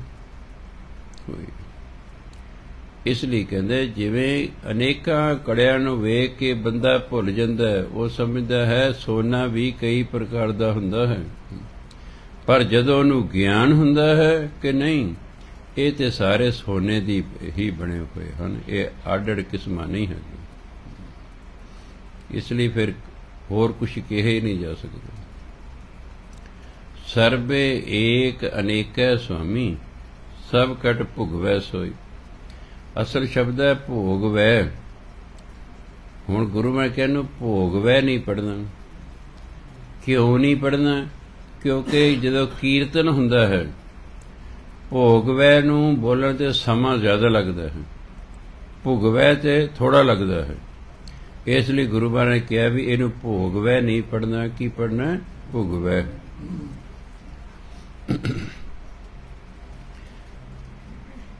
ਸਰਬੇਕ ਸਾਰਿਆਂ ਦੇ ਵਿੱਚ ਇੱਕ ਪਰਮਾਤਮਾ ਹੈ। ਪਰ ਸਾਰਿਆਂ ਦੇ ਵਿੱਚ ਹੋਣ ਕਰਕੇ ਐਂ ਲੱਗਦਾ ਜਿਵੇਂ ਅਨੇਕਾਂ ਨੇ। ਵੀ ਅਨੇਕਾਂ ਹੀ ਪਰਮਾਤਮਾ ਨੇ, ਇਹਦੇ ਚ ਵੀ ਹੈ, ਇਹਦੇ ਚ ਵੀ ਹੈ, ਇਹਦੇ ਚ ਵੀ ਹੈ, ਇੱਕੋ ਹੀ ਉਹ। ਇੱਕੋ ਹੀ ਪਰਮਾਤਮਾ ਹੈ। ਅਨੇਕਾਂ ਰੂਪਾਂ ਦੇ ਵਿੱਚ, ਸਾਰਿਆਂ ਦੇ ਵਿੱਚ ਹੈ। ਸਭ ਕਟ ਭੁਗਵੈ ਸੋਈ। ਅਤੇ ਸਾਰੇ ਸਰੀਰਾਂ ਨੂੰ ਉਹ ਮਾਣ ਰਿਹਾ। ਸਾਰੇ ਸਰੀਰਾਂ ਦੇ ਵਿੱਚ ਵਸਦਾ ਹੈ। ਜੋ ਅਸੀਂ ਖਾਂਦੇ ਪੀਂਦੇ ਆ ਉਹ ਪਰਮਾਤਮਾ ਖਾਂਦਾ ਪੀਂਦਾ ਹੈ। ਕਹਿ ਰਵਿਦਾਸ, ਹਾਥ ਪੈ ਨੇਰੇ। ਹਾਥ ਪੈ, ਹੱਥ ਨਾਲੋਂ ਵੀ। ਭਗਤ ਰਵਿਦਾਸ ਜੀ ਕਹਿੰਦੇ, ਪਰਮਾਤਮਾ ਹੱਥ ਨਾਲੋਂ ਵੀ ਨੇੜੇ ਹੈ। ਆ ਬਹੁਤ ਨੇੜੇ ਹੈ ਸਾਡੇ। ਸਹਜੇ ਹੋਏ ਸੋ ਹੋਈ ਇਸ ਲਈ ਸਹਿਜ ਸੁਭਾਅ ਜੋ ਹੋ ਰਿਹਾ ਹੈ, ਭਗਤ ਜੀ ਕਹਿੰਦੇ ਉਹ ਹੋਣ ਦਿਓ। ਜੋ ਹੋ ਰਿਹਾ ਕਹਿੰਦੇ ਉਸ ਨੂੰ ਹੋਣ ਦਿਓ। ਕਿਉਂਕਿ ਜੋ ਹੋ ਰਿਹਾ ਪਰਮਾਤਮਾ ਦੇ ਹੁਕਮ ਨਾਲ ਹੋ ਰਿਹਾ ਹੈ। ਹਿੰਦੁਸਤਾਨ, ਪਾਕਿਸਤਾਨ ਬਣਨਾ ਸੀ। ਇਹ ਬਣਨਾ ਹੀ ਸੀ। ਹਾਲਾਤ ਬਣ ਗਏ। ਹਾਲਾਤ ਬਣ ਗਏ ਵੰਡ ਹੋ ਗਈ। ਲੱਖਾਂ ਲੋਕਾਂ ਨੇ ਇਧਰੋਂ ਉਧਰ ਤੇ ਉਧਰੋਂ ਇਧਰ ਆਉਣਾ ਸੀ। 11 ਲੱਖ ਲੋਕ ਉਦੋਂ 1947 ਚ ਦੋਨਾਂ ਪੰਜਾਬਾਂ ਦੇ ਮਾਰੇ ਗਏ ਸਨ। 11 ਲੱਖ ਲੋਕ ਮਾਰੇ ਗਏ ਮੈਂ ਲਿਖਿਆ ਸੀ, ਹੋਣਾ ਸੀ ਇਸ ਤਰ੍ਹਾਂ। ਇਹ ਹੋਣਾ ਸੀ। ਜੋ ਹੋਣਾ, ਉਹ ਫਿਰ ਹੋ ਕੇ ਰਹਿੰਦਾ ਹੈ ਉਹ ਹੋ ਕੇ ਰਹਿੰਦਾ। ਹੋਣੀ ਨਹੀਂ ਟਲਿਆ ਕਰਦੀ। ਉਹ ਹੋ ਕੇ ਰਹਿੰਦੀ ਛੋਟੀ ਮੋਟੀ ਹੋਣੀ ਹੋਵੇ ਤਾਂ ਉਹਨੂੰ ਸੀ ਜੇ ਸਾਨੂੰ ਪਹਿਲਾਂ ਪਤਾ ਲੱਗ ਜੇ, ਅਸੀਂ ਪਾੜ ਕਰ ਕਰਕੇ ਕੁਝ ਹਿੱਸਾ ਦਾ ਟਾਲ ਸਕਦੇ ਹਾਂ। ਸਾਰੀ ਨਹੀਂ ਟਲਦੀ। ਸਰਦਾਰ ਸੰਪੂਰਨ ਸਿੰਘ ਦਾ ਲੜਕਾ ਲੱਗਾ ਹੋਇਆ ਬੈਂਕ 'ਚ। ਕਈ ਸਾਲਾਂ ਦੀ ਗੱਲ। ਹੈ ਇਹਨੂੰ ਜੋਤਸ਼ੀ ਨੇ ਕਿਹਾ, ਫਲਾਣੀ ਤਰੀਕ ਨੂੰ ਤੇਰੀਆਂ ਦੋਨੋਂ ਲੱਤਾਂ ਟੁੱਟ ਜਾਣੀਆਂ ਹਨ। ਇਹ ਮੇਰੇ ਕੋਲ ਆ ਗਿਆ। ਮੈਂ ਹੁਕਮ ਨਾਲ ਹਾਂ, ਮੈਂ ਹਾਂ ਟੁੱਟ ਜਾਣੀਆਂ ਨੇ। ਕਹੇ ਜੀ, ਕੋਈ ਪਾੜ ਦੇ ਦਿਓ, ਮੈਂ ਪਾੜ ਦਿੱਤਾ। ਜਿੱਦੇ ਉਹ ਤਰੀਕ ਆਈ ਲੱਤਾਂ ਟੁੱਟਣ ਦੀ, ਇਹਨੇ ਕਿਹਾ, ਅੱਜ ਮੈਂ ਛੁੱਟੀ ਲੈ ਲੈਣਾ, ਮੈਂ ਦਫ਼ਤਰ ਹੀ ਨਹੀਂ ਜਾਂਦਾ। ਘਰ ਹੀ ਰਹਾਂਗਾ। ਵੱਧ ਤੋਂ ਵੱਧ ਗੁਸਲਖਾਨੇ 'ਚ ਤਿਲਕਣ ਦਾ ਖਤਰਾ ਹੈ। ਮੈਂ ਹੱਥ ਪਾ ਕੇ ਗੁਸਲਖਾ ਆਵਾਂ ਜਾਵਾਂਗਾ। ਛੁੱਟੀ ਲੈ ਲਈ। ਬੈਂਕਾਂ ਵਾਲਿਆਂ ਨੇ ਮੈਨੇਜਰਾਂ ਨੂੰ ਆ ਮੋਬਾਈਲ ਦਿੱਤੇ ਹੁੰਦੇ ਨੇ। ਕਿ ਤੁਸੀਂ ਬੰਦ ਨਹੀਂ ਕਰਨਾ। 24 ਘੰਟੇ ਤੁਹਾਡਾ ਮੋਬਾਈਲ ਖੁੱਲਾ ਰਹਿਣਾ ਚਾਹੀਦਾ। ਕਿਸੇ ਵੇਲੇ ਵੀ ਅਸੀਂ ਕੋਈ ਤੁਹਾਨੂੰ ਸੁਨੇਹਾ ਦੇਣਾ ਬਸ 11 ਵਜੇ ਟੈਲੀਫੋਨ ਆ ਗਿਆ। ਬਈ ਚੰਡੀਗੜ੍ਹ ਤੋਂ ਵੱਡਾ ਅਫਸਰ ਆ ਰਿਹਾ ਤੂੰ ਫਟਾਫਟ ਬੈਂਕ ਪਹੁੰਚ। ਕਹਿੰਦਾ, ਲੈ ਵੀ, ਹੁਣ ਤਾਂ ਟੁੱਟ ਕੇ ਹਟਣੀ ਕੱਦ ਬਥੇਰਾ ਲੰਮਾ, ਸਕੂਟਰ ਤੇ ਸੀ। ਅੱਗੇ ਇੱਕ 3 ਵੀਲਰ ਜਾ ਰਿਹਾ ਸੀ। ਉਹਦੇ ਮਗਰ ਮਗਰ ਹੌਲੀ ਹੌਲੀ ਜਾ ਰਿਹਾ। ਵੀ ਚਲ ਮੈਂ ਹੌਲੀ ਜਾ ਕਿਤੇ ਡਿੱਗਣ ਲੱਗਾ, ਲੱਤਾਂ ਲਾ ਲਾਂਗਾ। ਉਹ 3 ਵੀਲਰ ਦੇ ਅੱਗੇ ਅਚਾਨਕ ਕੁੱਤਾ ਆ ਗਿਆ। 3 ਵੀਲਰ ਨੇ ਇੱਕਦਮ ਬ੍ਰੇਕਾਂ ਲਾਤੀਆਂ। ਇਹਦਾ ਸਕੂਟਰ ਜਿਹੜਾ 3 ਵੀਲਰ 'ਚ ਵੱਜਿਆ, ਇਹ ਸੜਕ ਤੇ ਡਿੱਗ ਪਿਆ। ਦੋਨੋਂ ਗੋਡੇ ਸੜਕ ਤੇ ਵੱਜੇ। ਝਰੀਟਾਂ ਆ ਗਈਆਂ, ਪਰ ਬਚਣ ਤੋਂ ਬਚ ਗਏ ਹੋਣੀ ਹੋ ਕੇ ਉਹਦੇ ਪਾਠ ਕਰ ਕਰਕੇ ਅਸੀਂ ਹੋਣੀ ਦਾ ਜਿਹੜਾ ਪ੍ਰਭਾਵ ਸੀ, ਉਹ ਘਟਾ ਲਿਆ। ਹੋਣੀ ਸੀ, ਉਹ, ਉਹਦੇ 19 ਤਰੀਕ ਨੂੰ ਹੋ ਕੇ ਹੀ ਰਹੀ ਸੋ ਤਾਂ ਕਹਿੰਦੇ ਨੇ, ਚਿੰਤਾ ਤਾਂ ਕੀ ਕੀਜੀਏ ਜੋ ਅਨਹੋਣੀ ਹੋਏ। ਅਨਹੋਣਾ ਕੁਛ ਨਹੀਂ ਹੁੰਦਾ। ਜੋ ਹੋਣਾ ਸਾਡੀ ਕਿਸਮਤ 'ਚ ਪਹਿਲਾਂ ਹੀ ਲਿਖਿਆ ਹੋਇਆ ਹੈ। ਤੇ ਜਿਹੜਾ ਲਿਖਿਆ ਹੋਇਆ ਹੈ, ਫਿਰ ਉਹਨੇ ਹੋ ਕੇ ਹੀ ਰਹਿਣਾ ਹਾਂ, ਕਿਸੇ ਨੂੰ ਕੋਈ ਪਹਿਲਾਂ ਪਤਾ ਲੱਗ ਜੇ, ਅਗਲਾ ਭਜਨ ਬੰਦਗੀ ਕਰ ਕਰਕੇ ਉਸ ਹੋਣੀ ਦੇ ਪ੍ਰਭਾਵ ਨੂੰ ਘਟਾ ਸਕਦਾ ਹੈ। ਮੁਕਦਾ ਨਹੀਂ ਹੋਇਆ ਕਰਦਾ ਟੋਟਲੀ ਮੁਕਿਆ ਕਰਦਾ ਕਰਮ। ਸੋ ਇਸ ਲਈ ਕਹਿੰਦੇ ਪਰਮਾਤਮਾ ਹੱਥ ਤੋਂ ਵੀ ਨੇੜੇ ਹੈ। ਸਹਜੇ ਹੋਏ ਸੋ ਹੋਈ, ਕਹਿੰਦੇ ਇਸ ਲਈ ਸਹਿ ਸਵਾ ਜੋ ਹੁੰਦਾ ਉਸ ਨੂੰ ਹੋਣ ਦਿਓ। ਅੱਗੇ ਕਹਿੰਦੇ ਜੋ ਹਮ ਬਾਂਦੇ ਮੋਹ ਫਾਂਸ, ਫਾਸ ਨਹੀਂ ਪੜਨਾ। ਫਾਂਸ ਤੋਂ ਬੜੇ ਫਾਂਸੀ, ਰੱਸੀ ਹੁੰਦੀ ਹੈ, ਫਾਹੀ। ਹੈ ਪਰਮਾਤਮਾ, ਤੂੰ ਤੇ ਸਾਨੂੰ ਮੋਹ ਦੀ ਰੱਸੀ 'ਚ, ਮੋਹ ਦੀ ਫਾਹੀ 'ਚ ਫਸਾ ਲਿਆ ਮੰਨ ਲੈ। ਅਸੀਂ ਮੋਹ 'ਚ ਫਸੇ ਹੋਏ ਨਾ, ਪਰਮਾਤਮਾ ਨੇ ਸਾਡੇ ਅੰਦਰ ਮੋਹ ਪੈਦਾ ਕਰਤਾ ਹੈ। ਉਹ ਮੋਹ ਹੀ ਸਾਨੂੰ ਰੱਬ ਵੱਲ ਜਾਣ ਨਹੀਂ ਦਿੰਦਾ, ਅਸੀਂ ਫਸੇ ਹੋ ਹਮ ਪ੍ਰੇਮ ਬੰਧਨ ਤੁਮ ਬੰਦੇ ਤੂੰ ਤੇ ਸਾਨੂੰ ਮੋਹ 'ਚ ਫਸਾ ਲਿਆ ਅਸੀਂ ਆਪਣੇ ਪਿਆਰ ਨਾਲ ਤੈਨੂੰ ਬੰਨ ਲਿਆ ਹੈ। ਤੂੰ ਸਾਨੂੰ ਮੋਹ 'ਚ ਫਸਾਇਆ ਹੋਇਆ ਹੈ। ਅਸੀਂ ਤੈਨੂੰ ਆਪਣੇ ਪਿਆਰ ਵਿੱਚ ਬੰਨ ਲਿਆ ਹੈ। ਆਪਣੇ ਛੂਟਣ ਕੋ ਯਤਨ ਕਰੋ। ਹਮ ਛੂਟੇ ਤੁਮ ਅਰਧ। ਤੇਰੀ ਆਰਾਧਨਾ ਕਰਕੇ ਅਸੀਂ ਤੇ ਮੋਹ ਤੋਂ ਬਚ ਗਏ ਹਾਂ। ਹੁਣ ਤੂੰ ਛੁੱਟਣ ਦਾ ਯਤਨ ਕਰ। ਤੂੰ ਸਾਡੇ ਪਿਆਰ ਚੋਂ ਕਿਵੇਂ ਛੁੱਟੇਗਾ? ਭਗਤ ਤੇ ਪਰਮਾਤਮਾ ਆਪਸ ਵਿੱਚ ਗੱਲਾਂ ਬਾਤਾਂ ਕਰ, ਪਿਆਰ ਹੁੰਦਾ ਨਾ। ਜਦੋਂ ਆਪਸੀ ਪਿਆਰ ਹੋਵੇ, ਫਿਰ ਸੰਗ ਸ਼ਰਮ ਨਹੀਂ ਰਹਿੰਦੀ, ਫਿਰ ਗੱਲਾਂ ਕਰਦਾ ਬੰਦਾ। ਭਗਤ ਜੀ ਰੱਬ ਨੂੰ ਕਹਿ ਰਹੇ ਵੀ ਠੀਕ ਹੈ, ਤੂੰ ਤਾਂ ਸਾਨੂੰ ਮੋਹ 'ਚ ਬੰਨ ਲਿਆ ਹੈ। ਅਸੀਂ ਤੈਨੂੰ ਪਿਆਰ 'ਚ ਬੰਨ ਲਿਆ ਹੈ। ਤੇਰੇ ਮੋਹ ਤੋਂ ਅਸੀਂ ਤੇਰਾ ਨਾਮ ਜਪ ਜਪ ਕੇ ਛੁੱਟ ਗਏ ਹਾਂ। ਹੁਣ ਕਹ ਤੂੰ ਦੱਸ ਸਾਡੇ ਪਿਆਰ ਚ ਕਿਵੇਂ ਛੁੱਟੇਗਾ? अपने छूटन को जतन करो हम छूटे तुम अरद ਤੇਰੀ ਆਰਾਧਨਾ ਕਰਕੇ ਅਸੀਂ ਤੇ ਮੋਹ ਤੋਂ ਛੁੱਟ ਗਏ ਹਾਂ ਹੁਣ ਤੂੰ ਆਪਣੇ ਛੁਟਕਾਰੇ ਦਾ ਯਤਨ ਕਰ ਵੀ ਤੂੰ ਸਾਡੇ ਪਿਆਰ ਚੋਂ ਕਿਵੇਂ ਛੁਟੇਂਗਾ ਮਾਧਵੇ ਜਾਣਤ ਹੋ ਜੈਸੀ ਤੈਸੀ हे ਪ੍ਰਮਾਤਮਾ ਜਿਹੋ ਜੀ ਮੇਰੀ ਹਾਲਤ ਹੈ ਉਹ ਤੁਸੀਂ ਉਸ ਨੂੰ ਜਾਣਦੇ ਹੋ ਅਬ ਕਹਾ ਕਰੋਗੇ ਐਸੀ। ਇਹਨੂੰ ਕਹਾ ਨਹੀਂ ਪੜਨਾ ਕਹਾ ਮੈਨੇ ਕੀ, ਕਿਵੇਂ? ਅਬ ਕਹਾ ਕਰੋਗੇ ਐਸੀ। ਹੁਣ ਕਹਿੰਦੇ, ਕੀ ਤੁਸੀਂ ਇਹੋ ਜਿਹਾ ਕਰੋਗੇ? ਹੁਣ ਤੁਸੀਂ ਮੇਰੇ ਨਾਲ ਕੀ ਕਰੋਗੇ? ਮੈਂ ਤੁਹਾਨੂੰ ਪਿਆਰ ਦੇ ਬੰਧਨ 'ਚ ਬੰਨ ਲਿਆ ਹੈ। ਹੁਣ ਤੁਸੀਂ ਨਿਕਲ ਨਹੀਂ ਸਕਦੇ ਦੇ ਵਿੱਚ। ਅੱਗੇ ਉਦਾਹਰਨ ਦਿੰਦੇ ਨੇ, ਮੀਨ ਪਕਰ ਫਾਂਕਿਓ ਅਰ ਕਾਟਿਓ। ਰਾਂਦ ਕੀਓ ਬਹੁ ਬਾਣੀ, ਮੀਨ ਮੱਛੀ ਪਕੜ ਫੜ ਕੇ ਫਾਂਕੇ ਹੁੰਦਾ ਚੀਰਨਾ। ਮੱਛੀ ਫੜ ਲਈ, ਉਹਨੂੰ ਚੀਰਿਆ, ਅਰ ਕਾਟਿਓ, ਉਹਦੇ ਟੁਕੜੇ ਕੀਤੇ। ਰਾਂਦ ਹੁੰਦਾ ਰਿੰਨਣਾ, ਰਾਂਦ ਕੀਓ ਬਹੁ ਬਾਣੀ ਬਾਣੀ ਹੁੰਦਾ ਤਰੀਕੇ, ਤੇ ਕਈ ਤਰੀਕਿਆਂ ਨਾਲ ਉਸ ਨੂੰ ਰਿੰਨਿਆ। ਮੱਛੀ ਫੜ ਲਈ, ਉਹਨੂੰ ਚੀਰਿਆ ਉਹਦੇ ਟੁਕੜੇ ਕੀਤੇ, ਕਈ ਤਰੀਕਿਆਂ ਨਾਲ ਉਹਨੂੰ ਰਿੰਨਿਆ। ਖੰਡ ਖੰਡ ਕਰ ਭੋਜਨ ਕੀਨੂੰ। ਛੋਟੇ ਛੋਟੇ ਟੁਕੜੇ ਕਰ ਕਰਕੇ ਉਹਨੂੰ ਖਾਦਾ ਖੰਡ ਟੁਕੜੇ ਨੂੰ ਕਹਿੰਦੇ। ਮੱਛੀ ਦੇ ਛੋਟੇ ਛੋਟੇ ਟੁਕੜੇ ਕਰਕੇ ਉਸ ਨੂੰ ਖਾ ਲਿਆ। ਤਉ ਨਾ ਬਿਸਰਿਓ ਪਾਣੀ, ਪਰ ਮੱਛੀ ਦਾ ਜੀਵਨ ਹੈਗਾ ਪਾਣੀ। ਤੁਸੀਂ ਖਾ ਲਈ ਮੱਛੀ, ਤੁਹਾਨੂੰ ਪਿਆਸ ਲੱਗੂਗੀ। ਮੱਛੀ ਦੀ ਤਸਵੀਰ ਗਰਮ ਹੁੰਦੀ ਹੈ। ਜਿਹੜਾ ਬੰਦਾ ਮੱਛੀ ਖਾਂਦਾ ਰਾਤ ਨੂੰ ਪਿਆਸ ਲੱਗਦੀ ਹੀ ਲੱਗਦੀ ਹੈ। ਮੱਛੀ ਮਰ ਗਈ ਹੈ, ਪਰ ਅਜੇ ਵੀ ਜਿਹੜਾ ਹੈ, ਉਹ ਪਾਣੀ ਚਾਹੁੰਦੀ ਹੈ।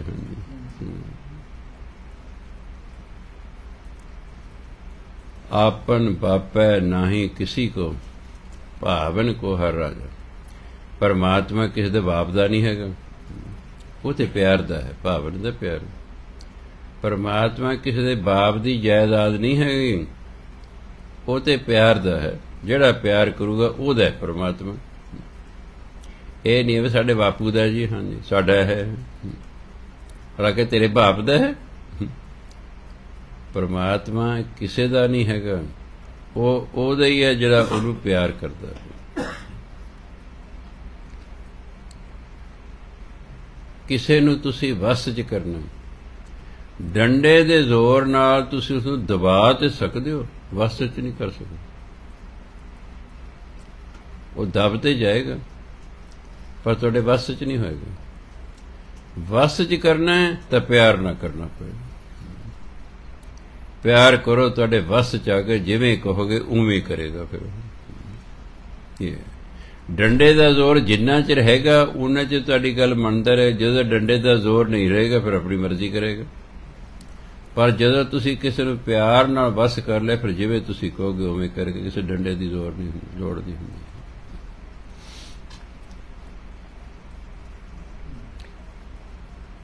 ਆਪਨ ਬਾਪੈ ਨਾਹੀ ਕਿਸੇ ਕੋ ਭਾਵਨ ਕੋ ਹਰ ਭਾਵਨ ਪਿਆਰ ਨੂੰ ਕਹਿੰਦੇ ਪਰਮਾਤਮਾ ਜੋ ਰਾਜਾ ਹੈ ਸਭ ਦਾ ਉਹ ਤੇ ਪਿਆਰ ਦਾ ਭਜਿਆ ਹੋਇਆ ਹੈ। ਉਹ ਕਿਸੇ ਦੇ ਬਾਪ ਦੀ ਜਾਗੀਰ ਨਹੀਂ ਹੈਗੀ। ਮੋਹ ਪਟਲ ਸਭ ਜਗਤ ਵਿਆਪਿਓ, ਭਗਤ ਨਹੀਂ ਸੰਤਪ। ਪਟਲੋਂ ਦਾ ਪਰਦਾ, ਵਿਆਪਿਓ ਦਾ ਪਿਆ ਹੋਇਆ। ਇਹ ਸਾਰਾ ਸੰਸਾਰ ਮੋਹ ਦੇ ਪਰਦੇ 'ਚ ਫਸਿਆ ਹੋਇਆ ਹੈ। ਸਾਰੇ ਸੰਸਾਰ ਤੇ ਮੋਹ ਦਾ ਪਰਦਾ ਪਿਆ ਹੋਇਆ ਹੈ। ਭਾਵ ਅਸੀਂ ਸਾਰੇ ਮੋਹ ਵਿੱਚ ਹਾਂ। ਜਿੰਨਾ ਚਿਰ ਮੋਹ 'ਚ ਹਾਂ, ਉਨਾ ਚਿਰ ਪਰਮਾਤਮਾ ਨਹੀਂ ਮਿਲਦਾ, ਕਿਉਂਕਿ ਸਾਡਾ ਇੱਕ ਨਾਲ ਪਿਆਰ ਹੈ। ਪਿਆਰ ਇੱਕ ਨਾਲ ਹੀ ਹੁੰਦਾ। ਮੋਹ ਬੜਿਆਂ ਨਾਲ ਹੋ ਸਕਦਾ ਹੈ। ਮੋਹ ਤਾਂ ਧੀ ਨਾਲ ਵੀ, ਪੁੱਤਰ ਨਾਲ ਵੀ, ਪਤੀ ਨਾਲ ਵੀ, ਪਤਨੀ ਨਾਲ ਵੀ, ਚਾਚੇ, ਤਾਏ ਨਾਲ ਵੀ ਹੋ ਸਕਦਾ ਪਿਆਰ ਇੱਕੋ ਨਾਲ ਹੀ ਹੁੰਦਾ ਹੈ। ਪਿਆਰਾ ਇੱਕੋ ਹੀ ਹੁੰਦਾ ਦੋ ਚਾਰ ਪਿਆਰੇ ਨਹੀਂ ਹੁੰਦੇ। ਇੱਕੋ ਹੀ ਹੁੰਦਾ। ਸੋ ਜਿੰਨਾ ਚਿਰ ਸਾਡੇ ਅੰਦਰ ਮੋਹ ਹੈ, ਉਹਨਾਂ ਚਿਰ ਰੱਬ ਨਾਲ ਸਾਡਾ ਪਿਆਰ ਨਹੀਂ ਪੈਦਾ ਹੋ ਸਕਦਾ। ਹਾਂ, ਜਦੋਂ ਰੱਬ ਨਾਲ ਪਿਆਰ ਪੈਦਾ ਹੋ ਗਿਆ, ਫਿਰ ਮੋਹ ਆਪੇ ਖਤਮ ਹੋ ਜਾਏਗਾ। ਇਹ ਬੁੱਲਿਆ, ਰੱਬ ਦਾ ਕੀ ਪਾਉਣਾ? ਇਧਰੋਂ ਪੁੱਟਣਾ? ਉਧਰ ਲਾਉਣਾ? ਹੁਣ ਸਾਡਾ ਮਨ ਮੋਹ ਚ ਲੱਗਿਆ, ਪਰਿਵਾਰ ਦੇ ਮੋਹ ਚ ਲੱਗਿਆ ਹੋਇਆ। ਰੱਬ ਪਾਉਣਾ, ਇਹ ਛੱਡਣਾ ਪਊਗਾ, ਉਧਰ ਪਿਆਰ ਕਰਨਾ ਪਏਗਾ ਬਸ। ਹੈ ਔਖਾ। ਗੱਲ ਤੇ ਉਹਨੇ ਇੱਕੋ ਲਾਈਨ ਚ ਨਿਬੇੜਤੀ।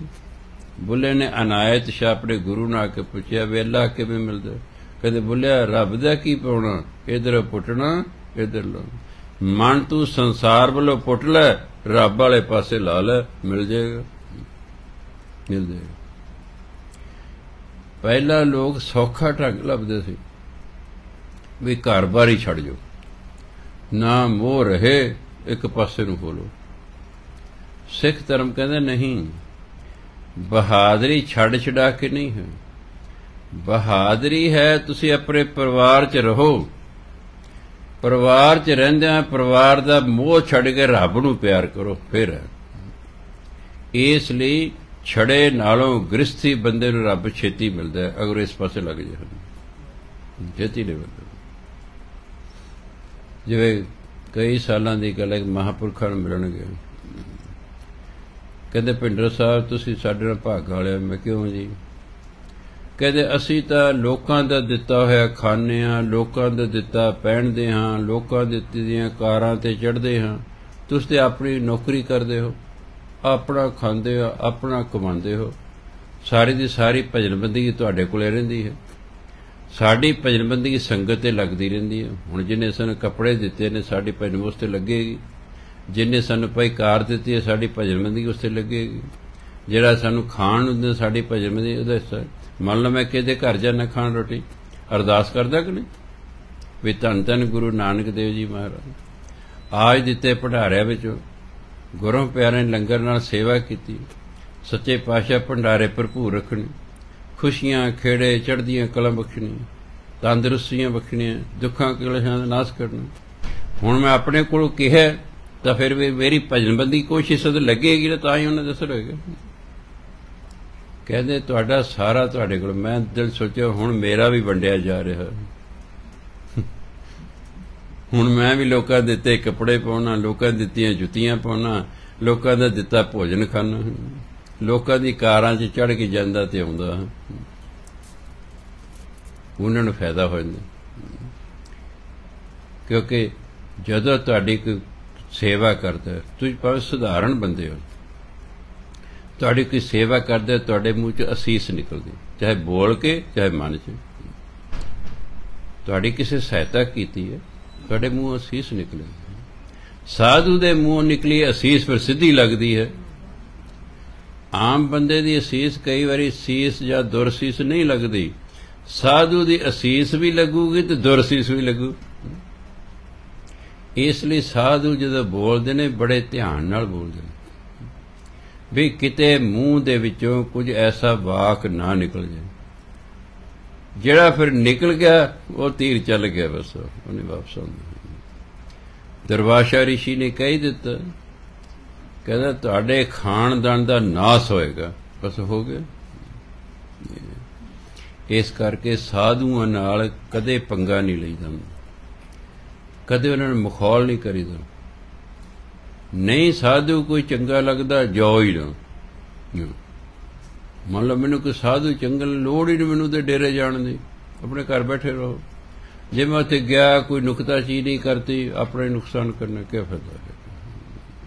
ਸੋ ਭਗਤ ਰਦਾਸ ਜੀ ਕਹਿੰਦੇ ਇਹ ਸਾਰਾ ਜਗਤ ਜਿਹੜਾ ਮੋਹ ਦਾ ਪਰਦਾ ਪਿਆ ਹੋਇਆ ਨਾ ਤੇ। ਭਗਤ ਨਹੀਂ ਸੰਤਾਪ ਪਰ ਭਗਤ ਨੂੰ ਮੋਹ ਦਾ ਕੋਈ ਦੁੱਖ ਨਹੀਂ, ਕਿਉਂਕਿ ਮੋਹ ਚ ਹੁੰਦਾ ਹੀ ਨਹੀਂ ਉਹ। ਉਹ ਮੋਹ ਚ ਫਸਦਾ ਹੀ ਨਹੀਂ ਹੈ ਉਹ ਆਪਣੇ ਪਰਿਵਾਰ ਪ੍ਰਤੀ ਸਾਰੀਆਂ ਜ਼ਿੰਮੇਵਾਰੀਆਂ ਨਿਭਾਉਂਦਾ ਪਰ ਮੋਹ ਚ ਨਹੀਂ ਆਉਂਦਾ। ਅਗਰ ਬੰਦਾ, ਹਰ ਬੰਦਾ ਆਪਣੀ ਜ਼ਿੰਮੇਵਾਰੀ ਨਿਭਾਉਣ ਲੱਗ ਜਾਵੇ, ਸ਼ਾਂਤੀ ਰਹਿੰਦੀ ਪਰਿਵਾਰ 'ਚ। ਪਤੀ ਆਪਣੀ ਜ਼ਿੰਮੇਵਾਰੀ ਨਿਭਾਏ, ਪਤਨੀ ਆਪੀ ਨਿਭਾਏ ਧੀ ਆਪਣੀ ਨਿਭਾਏ, ਪੁੱਤਰ ਆਪਣੀ ਨਿਭਾਏ, ਰੌਲਾ ਗੋਲੇ ਕੋਈ ਨਹੀਂ। ਅਸੀਂ ਜ਼ਿੰਮੇਵਾਰੀ ਜਦੋਂ ਨਹੀਂ ਨਿਭਾਉਂਦੇ, ਉਹਦਾ ਰੌਲਾ ਕੋ ਪੈਂਦਾ। ਪੁੱਤਰ ਦਾ ਜੋ ਫਰਜ਼ ਹੈ, ਉਹ ਆਪਣੇ ਫਰਜ਼ ਪੂਰੇ ਕਰੇ। ਪਿਤਾ ਦਾ ਜੋ ਫਰਜ਼ ਹੈ, ਉਹ ਪੂਰੇ ਕਰੇ। ਮਾਤਾ ਦਾ ਜੋ ਫਰਜ਼ ਹੈ, ਉਹ ਪੂਰੇ ਕਰੇ। ਧੀ ਦਾ ਜੋ ਫਰਜ਼ ਹੈ, ਉਹ ਪੂਰੇ ਕਰੇ। ਸ਼ਾਂਤੀ ਹੋ ਜਾਏਗੀ।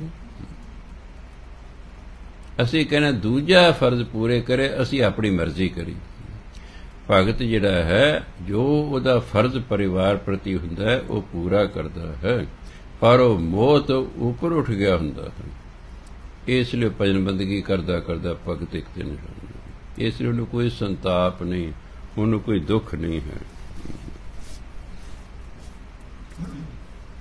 ਦੁੱਖ ਤੇ ਤਾਂ ਹੋਏਗਾ ਜੇ ਅਸੀਂ ਕੋਈ ਗਲਤ ਕੰਮ ਕਰਾਂਗੇ। ਗਲਤ ਕੰਮ ਦਾ ਨਤੀਜਾ ਫਿਰ ਗਲਤ ਹੀ। ਨਿਕਲਦਾ ਆਇਨਾ ਦੁੱਖ ਸੰਸਾਰ 'ਚ ਫੈਲਿਆ ਹੋਇਆ।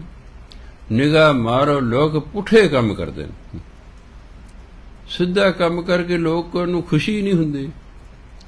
ਚੋਰੀਆਂ ਕਰਕੇ, ਡਾਕੇ ਮਾਰ ਕੇ, ਠੱਗੀਆਂ ਕਰਕੇ ਮਲਾਵਟਾ ਕਰਕੇ ਧੋਖਾ ਧੋਖਾਧੜੀ ਕਰਕੇ, ਲੁੱਟਾ ਖੁਹਾਂ ਕਰਕੇ। ਦੂਜਿਆਂ ਤੇ ਜ਼ੁਲਮ ਕਰਕੇ, ਅਤਿਆਚਾਰ ਕਰਕੇ, ਕਤਲ ਕਰਕੇ, ਲੋਕਾਂ ਦੇ ਘਰ ਸਾੜ ਕੇ। ਆ ਦੇਖੋ ਕਿੱਥੇ ਚੱਲ ਰਿਹਾ ਹੋ ਮਣੀਪੁਰ 'ਚ। ਕਿੰਨਾ ਹੈ? 1947 ਤੋਂ ਵੱਧ ਰੌਲਾ ਪਿਆ ਹੋਇਆ ਉੱਥੇ। ਆਪਣੇ ਹੀ ਦੇਸ਼ ਦੇ ਲੋਕ ਨੇ। ਇੱਕ ਤਾਂ ਬਗਾਨੇ ਦੇਸ਼ ਦੇ ਹੁਣ। ਆਪਣੇ ਹੀ ਨੇ ਬਸ। ਘਰਾਂ ਦੇ ਘਰ ਸਾੜਦੇ ਉੱਥੇ ਮੈਂ ਦੇਖਿਆ ਜਿੱਥੇ ਵੀ ਛੋਟੀ ਕੌਮ ਹੁੰਦੀ ਹੈ ਉਹਨਾਂ ਨੂੰ ਹਮੇਸ਼ਾ ਨੁਕਸਾਨ ਹੁੰਦਾ। ਜਿੱਥੇ ਵੀ ਕੌਮ ਛੋਟੀ ਹੋਏਗੀ, ਵੱਡੀ ਕੌਮ ਉਹਨਾਂ ਨੂੰ ਤੰਗ ਕਰੇਗੀ, ਹੀ ਕਰੇਗੀ। ਜਦੋਂ ਫਿਰ ਉਹ ਤੰਗ ਕਰਦੇ ਨੇ, ਫਿਰ ਛੋਟੀ ਕੌਮ ਚ ਅੱਤਵਾਦੀ ਪੈਦਾ ਹੁੰਦੇ ਨੇ।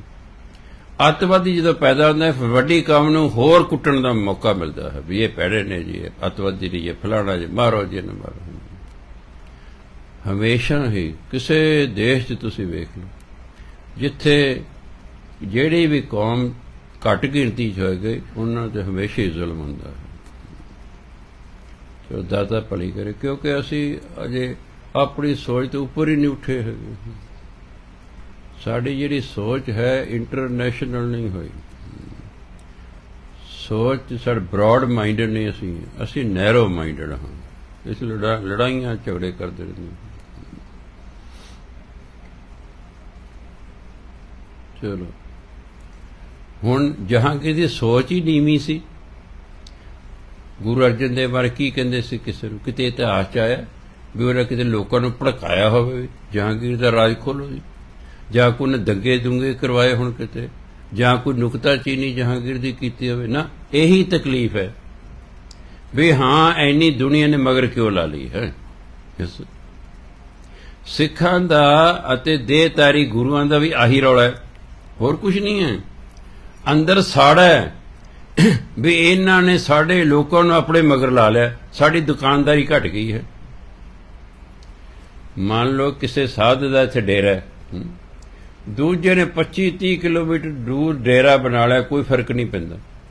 ਉਹਨੇ ਅਗਲੇ ਕਿਲੋਮੀਟਰ ਤੇ ਆਪਣਾ ਡੇਰਾ ਬਣਾ ਲਿਆ, ਪਹਿਲੇ ਨੂੰ ਤਕਲੀਫ ਹੋਵੇਗੀ। ਪਾ ਕਿਉਂਕਿ ਬ੍ਰਹਮ ਗਿਆਨੀ ਤੇ ਹੁੰਦਾ ਨਹੀਂ ਵੀ ਤਕਲੀਫ ਨਾ ਹੋਵੇ। ਉਹ ਕਹੂਗਾ ਵੀ ਉਹ ਮੇਰੇ ਗਾਹਕ ਟੁੱਟ ਕੇ ਚਲੇ ਉੱਥੇ। ਮੰਨ ਲਓ ਮੈਂ ਕੱਪੜੇ ਦੀ ਦੁਕਾਨ ਪਾਈ ਹੈ ਕਿਤੇ, ਠੀਕ ਹੈ। ਕਿਸੇ ਨੇ ਮੇਰੇ ਨਾਲ ਸਬਜ਼ੀ ਦੀ ਦੁਕਾਨ ਆ ਕੇ ਪਾ ਲਈ, ਮੈਨੂੰ ਕੋਈ ਤਕਲੀਫ ਨਹੀਂ ਹੋਏਗੀ। ਪਰ ਕਿਸੇ ਨੇ ਮੇਰੇ ਨਾਲ ਕੱਪੜੇ ਦੀ ਦੁਕਾਨ ਆ ਕੇ ਖੋਲ ਲਿਆ ਮੈਨੂੰ ਅੰਦਰ ਖਾਤੇ ਤਕਲੀਫ ਜ਼ਰੂਰ ਹੋਵੇਗੀ। ਕਿਉਂ? ਮੈਂ ਕਿਹਾ ਬ੍ਰਹਮ ਗਿਆਨੀ ਬਿਨਾਂ ਤਕਲੀਫ ਹੋਏ ਵੀ ਉਹ ਮੇਰੇ ਗਾਹ ਕੇ ਲੈ ਚੱਲੇ ਬਸ ਸਾਰਿਆਂ ਅੰਦਰ ਖਾਤੇ ਹੀ ਤਕਲੀਫ ਹੈ ਤੇ ਲੜਾਈਆਂ ਹੁੰਦੀਆਂ। ਅੰਦਰ ਖਾਤੇ ਆਹੀ ਤਕਲੀਫ ਹੈ। ਇਸ ਕਰਕੇ ਲੜਾਈਆਂ ਹੁੰਦੀਆਂ। ਬਈ ਅਗਲੇ ਦੀ ਮਰਜ਼ੀ ਹੈ, ਜਿੱਧਰ ਨੂੰ ਮਰਜ਼ੀ ਹੈ ਜਾਵੇ, ਤੁਸੀਂ ਉਹਨੂੰ ਬੰਨ ਕੇ ਬਿਠਾਣਾ ਵੀ ਉਧਰ ਨਾ ਜਦ ਸਾਡੇ ਅੱਲਾ ਅਗਲੀ ਮਰਜ਼ੀ ਹੈ। ਅਗਲੇ ਦੀ ਮਰਜ਼ੀ ਹੈ। ਜਿੱਧਰ ਮਰਜ਼ੀ ਜਾਵੇ ਅਗਲਾ। ਪਰ ਨਹੀਂ, ਸਾਨੂੰ ਤਕਲੀਫ ਹੈ ਕਿ ਸਾਡੇ ਗਾਹ ਕੱਢ ਗਏ। ਗੁਰਦੁਆਰਿਆਂ ਵਾਲਿਆਂ ਨੂੰ ਡੇਰੇ ਵਾਲਿਆਂ ਤੋਂ ਤਕਲੀਫ ਹੈ ਵੀ ਸਾਡੇ ਜਿਹੜੇ ਗਾਹਕ ਨੇ ਡੇਰੇ ਵਾਲੇ ਲੈ ਗਏ। ਅੰਦਰ ਖਾਤੇ ਤਕਲੀਫ ਹੈ, ਨਿੰਦਦੇ ਰਹਿੰਦੇ ਨੇ ਸੰਤਾਂ ਨੂੰ। ਅੰਦਰ ਸੰਤਾਂ ਨਿੰਦਦੇ ਰਹਿੰਦੇ ਨੇ, ਹੋਰ ਕੁਛ ਨਹੀਂ। ਵੀ ਹਾਂ, ਸਾਡੇ ਗਾਹਕ ਟੁੱਟ ਕੇ ਡੇਰੇ ਤੇ ਚਲੇ ਗਏ। ਬਸ ਆ ਆ ਤਕਲੀਫ ਹੈ। ਕਿਉਂਕਿ ਬ੍ਰਹਮ ਗਿਆਨੀ ਦਾ ਕੋਈ ਹੈ ਨਹੀਂ ਵੀ ਈਰਖਾ ਨਾ ਹੋਵੇ। ਈਰਖਾ। ਈਰਖਾ ਕਾਰਨ ਹੀ ਸਾਰੀਆਂ ਲੜਾਈਆਂ ਹੁੰਦੀਆਂ। ਹੱਲਾ ਗੁੱਲਾ ਜਿਹਾ ਸਭ ਪਾਸੇ ਮਚਿਆ ਹੋਇਆ ਹੈ। ਹੋਰ ਕੁਝ ਵੀ ਨਹੀਂ, ਬਸ ਆਹੀ ਹੈ। ਬਈ ਦੂਜਾ ਕਿਉਂ ਤਰੱਕੀ ਕਰ ਗਿਆ? ਇਹ ਨਹੀਂ ਤਰੱਕੀ ਕਰਨਾ ਚਾਹੀਦਾ। ਸਾਡੇ ਤੋਂ ਘਟਿਆ ਰਹਿਣਾ ਚਾਹੀਦਾ। ਗੁਰੂ ਮਹਾਰਾਜ ਕਹਿੰਦੇ ਕਹਿ ਰਵਿਦਾਸ, ਭਗਤ ਇੱਕ ਬਾਡੀ ਬਾਡੀ ਹੁੰਦਾ ਵੱਜਣ। ਭਗਤ ਬਣੇ ਭਗਤੀ।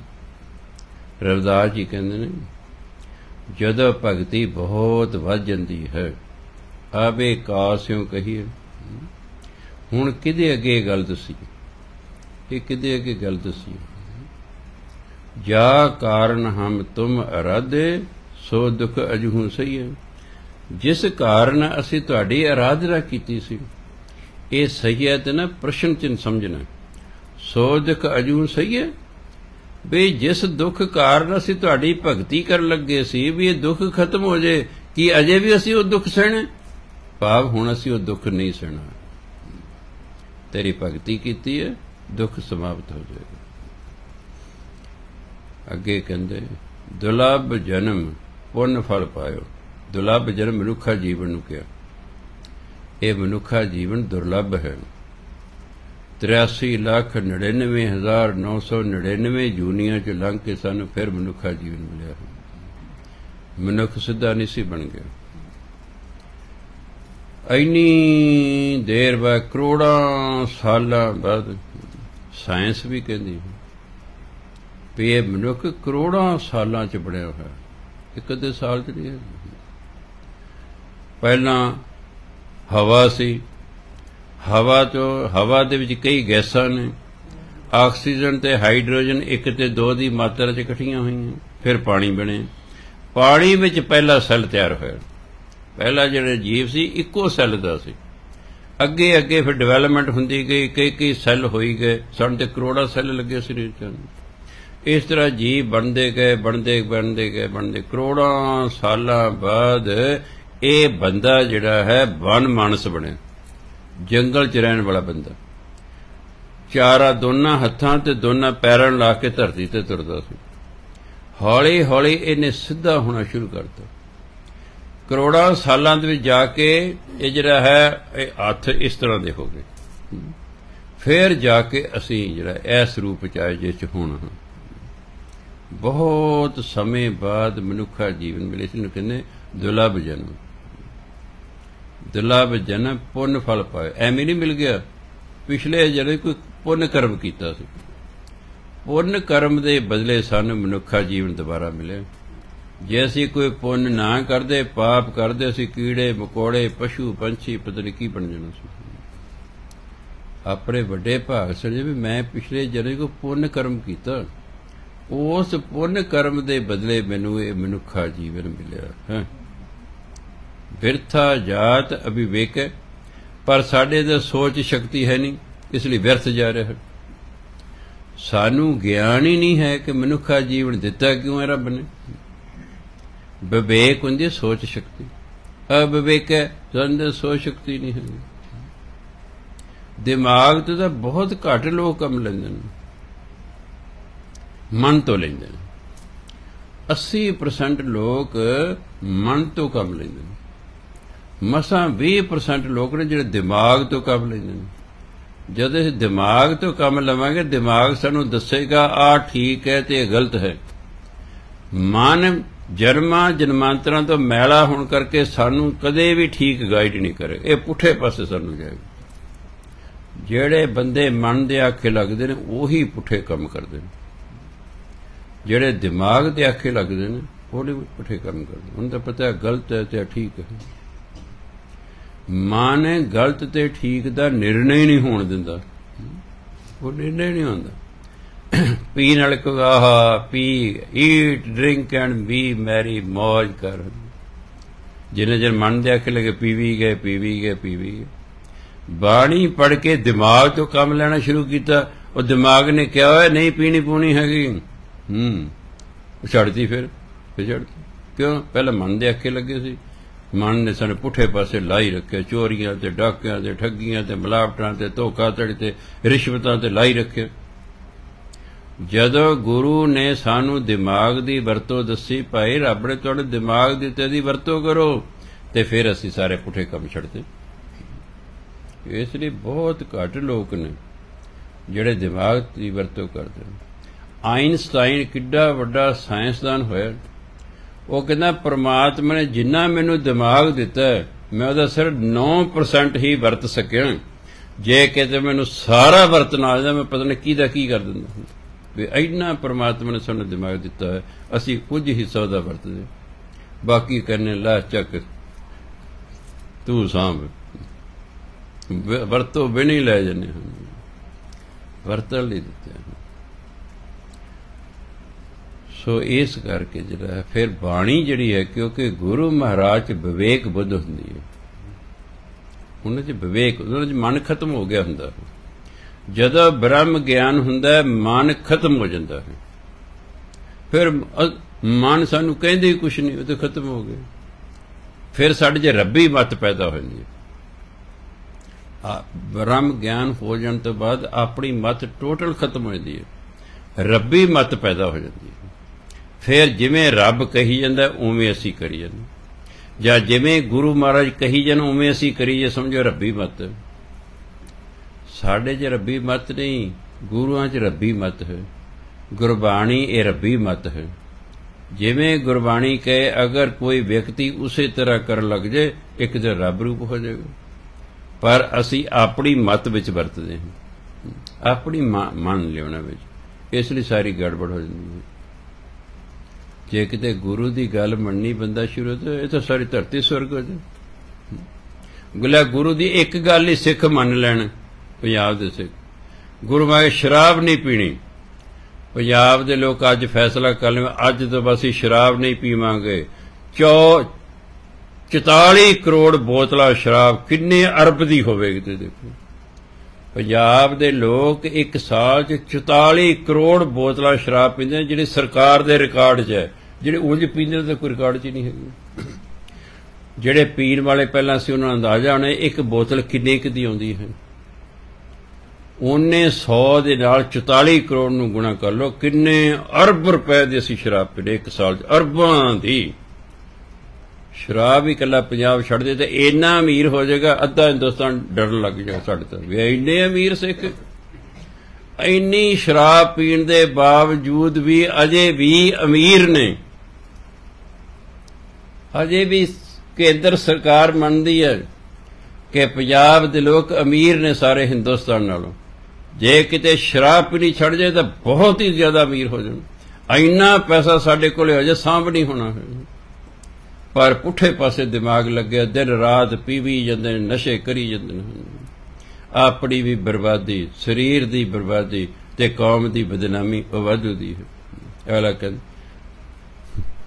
ਬੀਬੀ ਜੀ ਨੂੰ 35 ਸਾਲ ਤੱਕ ਜੱਟਾਂ 'ਚ ਵੈਸ਼ਨੂ ਹੀ ਨਾ ਕੋਈ ਟੱਕਰਿਆ। ਧਿਆਨ ਦੇਣਾ।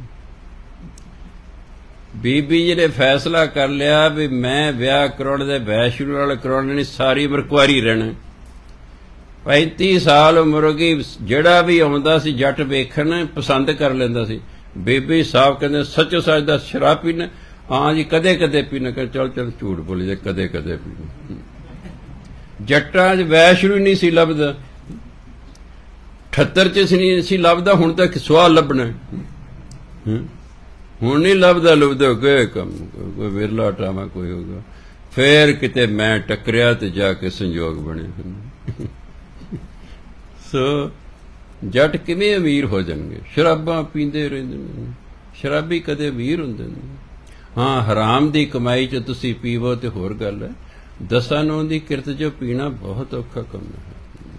ਇਹ ਗਰੀਬੀ ਨੂੰ ਵਾਜਾ ਮਾਰਦੀਆਂ ਸੋ ਗੁਰੂ ਮਹਾਰਾਜ ਕਹਿੰਦੇ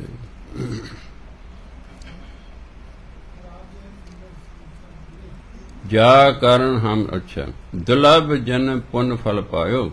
ਬਿਰਥਾ ਜਾਤ ਅਭਿਵੇਕ, ਇਹ ਮਨੁੱਖਾ ਜੀਵਨ ਜੋ ਦੁਰਲਭ ਹੈ, ਇਹ ਕਿਸੇ ਪੁੰਨ ਫਲ ਕਾਰਨ ਮਿਲਿਆ ਹੈ। ਕਿਸੇ ਪੁੰਨ ਕਰਮ ਅਸੀਂ ਕੀਤਾ, ਉਹਦੇ ਨਤੀਜੇ ਵਜੋਂ ਸਾਨੂੰ ਮਿਲੇ। ਪਰ ਬੇਸਮਝੀ ਕਾਰਨ ਇਹ ਵਿਅਰਥ ਜਾ ਰਿਹਾ ਅਭਿਵੇਕ ਹੈ ਬੇਸਮਝੀ। ਬੇਸਮਝੀ ਕਾਰਨ ਵਿਅਰਥ ਜਾ ਰਿਹਾ ਰਾਜੇ ਇੰਦਰ ਸੰਸਰ ਗ੍ਰੇ ਅਸਨ ਬਿਨ ਹਰ ਭਗਤ ਕਹੋ ਕੇ ਲਿਖ। ਇੰਦਰ ਰਾਜਾ ਸਵਰਗ ਦਾ। ਕਹਿੰਦੇ ਜੀ, ਓਡਾ ਵੱਡਾ ਵੀ ਕਿਸੇ ਕੋਲੇ ਘਰ ਹੋਵੇ। ਸੰਸਰ ਦੇ ਬਰਾਬਰ। ਰਾਜੇ ਇੰਦਰ ਦੇ ਬਰਾਬਰ ਕਿਤੇ ਗ੍ਰੇ ਘਰ ਹੋਵੇ, ਆਸਨ ਹੋਵੇ, ਬੈਠਣ ਲਈ ਥਾਂ ਉਨੀ ਵਧੀਆ ਹੋਵੇ। ਪਰ ਬਿਨ ਹਰ ਭਗਤ ਕਹੋ ਕਿ ਲਿਖ, ਪਰ ਜੋ ਬੰਦਾ ਭਜਨ ਬੰਦਗੀ ਨਹੀਂ ਕਰਦਾ, ਤਾਂ ਐਡਾ ਵੱਡਾ ਮਹਿਲ, ਐਡੇ ਵੱਡੇ ਆਸਣ ਕਿਸ ਕੰਮ ਨੇ ਕਹਿੰਦੇ? ਉਹਦੇ ਵਿਅਰਥ ਨੇ। ਪਰਮਾਤਮਾ ਕਹਿੰਦਾ, ਮੈਂ ਤੈਨੂੰ ਮਹਿਲ ਰਹਿਣ ਨੂੰ ਦਿੱਤਾ। ਇਹ ਕਲਾਸ ਤੈਨੂੰ ਰਹਿਣ ਨੂੰ ਬੈੱਡ, ਕੁਰਸੀਆਂ ਦਿੱਤੀਆਂ। ਕਾਹਦੇ ਲਈ ਦਿੱਤੀਆਂ? ਤੂੰ ਮੇਰਾ ਨਾਮ ਜਪ। ਤੇ ਤੂੰ ਮੇਰਾ ਨਾਮ ਨਹੀਂ ਜਪਿਆ ਉੱਤੇ ਕੁੱਟ, ਕੁੱਟੀ ਜਾਣਾ ਉਹਨਾਂ ਨੇ ਬਸ। ਅਸੀਂ ਸਿਰ ਸਿਰ ਜਿਹਾ ਖੁਰਕੀ ਜਾਣਾ। ਜਦੋਂ ਮੈਂ ਤੁਸੀਂ ਕਿਸੇ ਨੂੰ ਪੁੱਛਿਆ ਤੂੰ ਚੋਰੀ ਕੀਤੀ, ਹੁਣ ਉਹਨੇ ਝੂਠ ਬੋਲਣਾ ਉਹਦਾ ਹੱਥ ਤੁਹਾਡੇ ਸਿਰ ਨੂੰ ਜਾਊਗਾ ਖੁਰਕਣ ਇਹ ਤਾਂ ਬਸ ਝੂਠ ਬੋਲੂਗਾ ਹੁਣ। ਸੋਚ ਰਿਹਾ ਵੀ ਕੀ ਬੋਲੂ। ਜੇ ਝੂਠ ਬੋਲਣਾ ਆਪਣੇ ਆਪ ਤੁਹਾਡਾ ਹੱਥ ਸਿਰ ਵੱਲ ਨੂੰ ਜਾਵੇਗਾ। ਉਥੋਂ ਨੂੰ ਪਤਾ ਲੱਗਦਾ ਵੀ ਇਹ ਝੂਠ ਬੋਲੂਗਾ ਹੁਣ। ਪੁਲਿਸ ਵਾਲਿਆਂ ਦਾ ਰੋਜ਼ ਦਾ ਕੰਮ ਹੈ ਉਹ ਪ੍ਰਸ਼ਨ ਹੀ ਪੁੱਛਦੇ ਨੇ। ਵੱਡੇ ਬੰਦੇ ਨੂੰ ਕੁੜਦੇ ਮਾਰਦੇ ਤਾਂ ਹੈ ਨਹੀਂ 100 ਕੋ ਪ੍ਰਸ਼ਨ ਚ ਫਸਾ ਲੈਂਦੇ ਉਹਨਾਂ। ਨੂੰ ਸਾਡੇ ਵਰਗੇ ਤਾਂ ਕੁੱਟੀ ਕੱਟੀ ਜਾਣਗੇ ਸਾਡੇ ਤੋਂ ਤਾਂ। ਪਰ ਜਿਹੜੇ ਵੱਡੇ ਵੱਡੇ ਬੰਦੇ ਨੇ, ਉਹਨਾਂ ਨੂੰ ਕੁੜਦੇ ਨਹੀਂ ਹੈਗੇ। ਉਹ 100 150 ਪ੍ਰਸ਼ਨ ਲਿਖ ਕੇ ਲੈ ਜਾਂਦੇ ਨੇ। ਪ੍ਰਸ਼ਨ ਪੁੱਛੀ ਜਾਂਦੇ ਨੇ, ਉਹਨਾਂ ਨੂੰ ਉੱਤਰ, ਉਸੇ ਚ ਫਸਾ ਲੈਂਦੇ ਨੇ ਹਾਂਜੀ ਕਿ ਝੂਠ ਤਾਂ ਝੂਠ ਹੀ ਹੁੰਦਾ। ਬਸ ਉਹ ਕਹਿੰਦੇ, ਆ ਜਾ ਵੀ ਸੱਜਣਾ ਹੁਣ। ਸੋ ਇਸ ਕਰਕੇ ਗੁਰੂ ਮਹਾਰਾਜ ਕਹਿੰਦੇ, ਬਈ ਰਾਜੇ ਇੰਦਰ ਵਰਗਾ ਵੀ ਜੇ ਤੁਹਾਡਾ ਵੱਡਾ ਸਾਰਾ ਘਰ ਹੋਵੇ, ਬੜੇ ਵਧੀਆ ਬੈੱਡ ਹੋਣ, ਪਰ ਜੇ ਤੁਸੀਂ ਭਗਤੀ ਨਹੀਂ ਕਰਦੇ, ਕਹਿੰਦੇ ਦੱਸੋ ਇਹ ਕਿਸ ਲੇਖੇ ਨੂੰ? ਇਹਨਾਂ ਦਾ ਕੀ ਫਾਇਦਾ ਕਹਿੰਦੇ? ਜੇ ਭਗਤੀ ਨਾ ਕੀਤੀ। ਸਗੋ ਸ਼ੁਕਰਾਨੇ ਵਜ ਜਿਉਂ ਜਿਉਂ ਵੀਰ ਹੋਵੋ, ਸ਼ੁਕਰਾਨੇ ਵਜੋ ਭਜਨਮਦੀ ਕਰ ਸੱਚੇ ਪਾਤਸ਼ਾਹ ਤੇਰੀ ਕਿੰਨੀ ਕਿਰਪਾ। ਮੈਂ ਕਹਿੰਦਾ, ਤੁਸੀਂ ਕੁਝ ਵੀ ਨਾ ਕਰੋ। ਰੱਬ ਦਾ ਰੋਟੀ ਖਾਣ ਲੱਗੇ ਸੱਚੇ ਪਾਤਸ਼ਾਹ ਤੇਰੀ ਕਿਰਪਾ ਹੈ। ਤੂੰ ਰੋਟੀ ਦਿੱਤੀ ਖਾਣ ਕੱਪੜੇ ਪਾਣ ਸੱਚੇ ਪਾਤਸ਼ਾਹ ਤੇਰੀ ਕਿਰਪਾ ਤੂੰ ਕੱਪੜੇ ਪਾਣ ਤੇ 18 ਕਰੋੜ ਲੋਕ ਜਿਹੜੇ ਜਿਹਨਾਂ ਖਾਣ ਰੋਟੀ ਨਹੀਂ ਮਿਲਦੀ ਤੂੰ ਮੈਨੂੰ ਖਾਣ ਨੂੰ ਰੋਟੀ ਦਿੱਤੀ ਕਰੋੜਾਂ ਲੋਕ ਨੇ ਜਿਹੜੇ ਵਿਚਾਰੇ ਨੰਗੇ ਫਿਰਦੇ ਨੇ, ਤਨ ਤਨ ਤੇ ਪਾਉਣ ਨੂੰ ਕੱਪੜੇ, ਤੂੰ ਮੈਨੂੰ ਕੱਪੜੇ ਦਿੱਤੇ ਘਰ 'ਚ ਪ੍ਰਵੇਸ਼ ਕਰੋ, ਸੱਚੇ ਪਾਤਸ਼ਾਹ ਤੇਰੀ ਕਿੰਨੀ ਕਿਰਪਾ ਹੈ। ਕਰੋੜਾਂ ਲੋਕ ਨੇ ਜਿਹਦੇ ਕੋਲ ਝੌਂਪੜੀ ਵੀ ਨਹੀਂ ਹੈਗੀ, ਸੜਕਾਂ ਤੇ ਸੌਂਦੇ ਨੇ, ਰੇਲਵੇ ਸਟੇਸ਼ਨਾਂ ਤੇ ਸੌਂਦੇ ਨੇ, ਪਲੇਟਫਾਰਮਾਂ ਤੇ ਸੌਂਦੇ ਨੇ। ਤੂੰ ਮੈਨੂੰ ਰਹਿਣ ਨੂੰ ਕਰ ਦਿੱਤਾ ਧੰਨਵਾਦ ਹੀ ਕਰੀ ਜੋ ਬਸ ਇਦੋਂ ਵੱਡੀ ਹੋਰ ਕੋਈ ਭਗਤੀ ਨਹੀਂ ਹੈ। ਧੰਨਵਾਦ ਵਿੱਚ ਜਿਉਣਾ ਬਹੁਤ ਵੱਡੀ ਭਗਤੀ ਹੈ। ਵੀ ਸੱਚੇ ਪਾਤਸ਼ਾਹ ਤੇਰੀ ਕਿਰਪਾ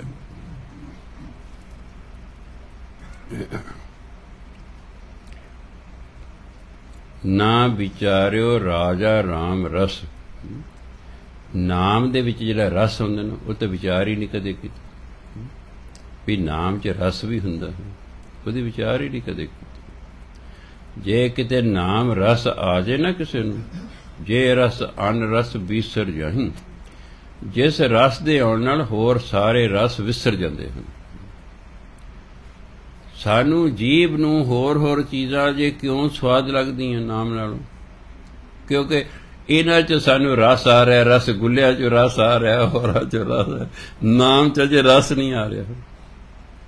ਜਦੋਂ ਨਾਮ ਜਪਦਿਆਂ ਜਪਦਿਆਂ ਜਪਦਿਆਂ ਜਪਦਿਆਂ ਨਾਮ 'ਚ ਰਸ ਆਉਣ ਲੱਗਿਆ, ਆ ਕੁਝ ਵੀ ਹੋਰ ਸਵਾਦ ਨਹੀਂ ਲੱਗੇਗਾ। ਕੁਝ ਵੀ ਹੋਰ ਸਵਾਦ ਨਹੀਂ ਲੱਗੇਗਾ।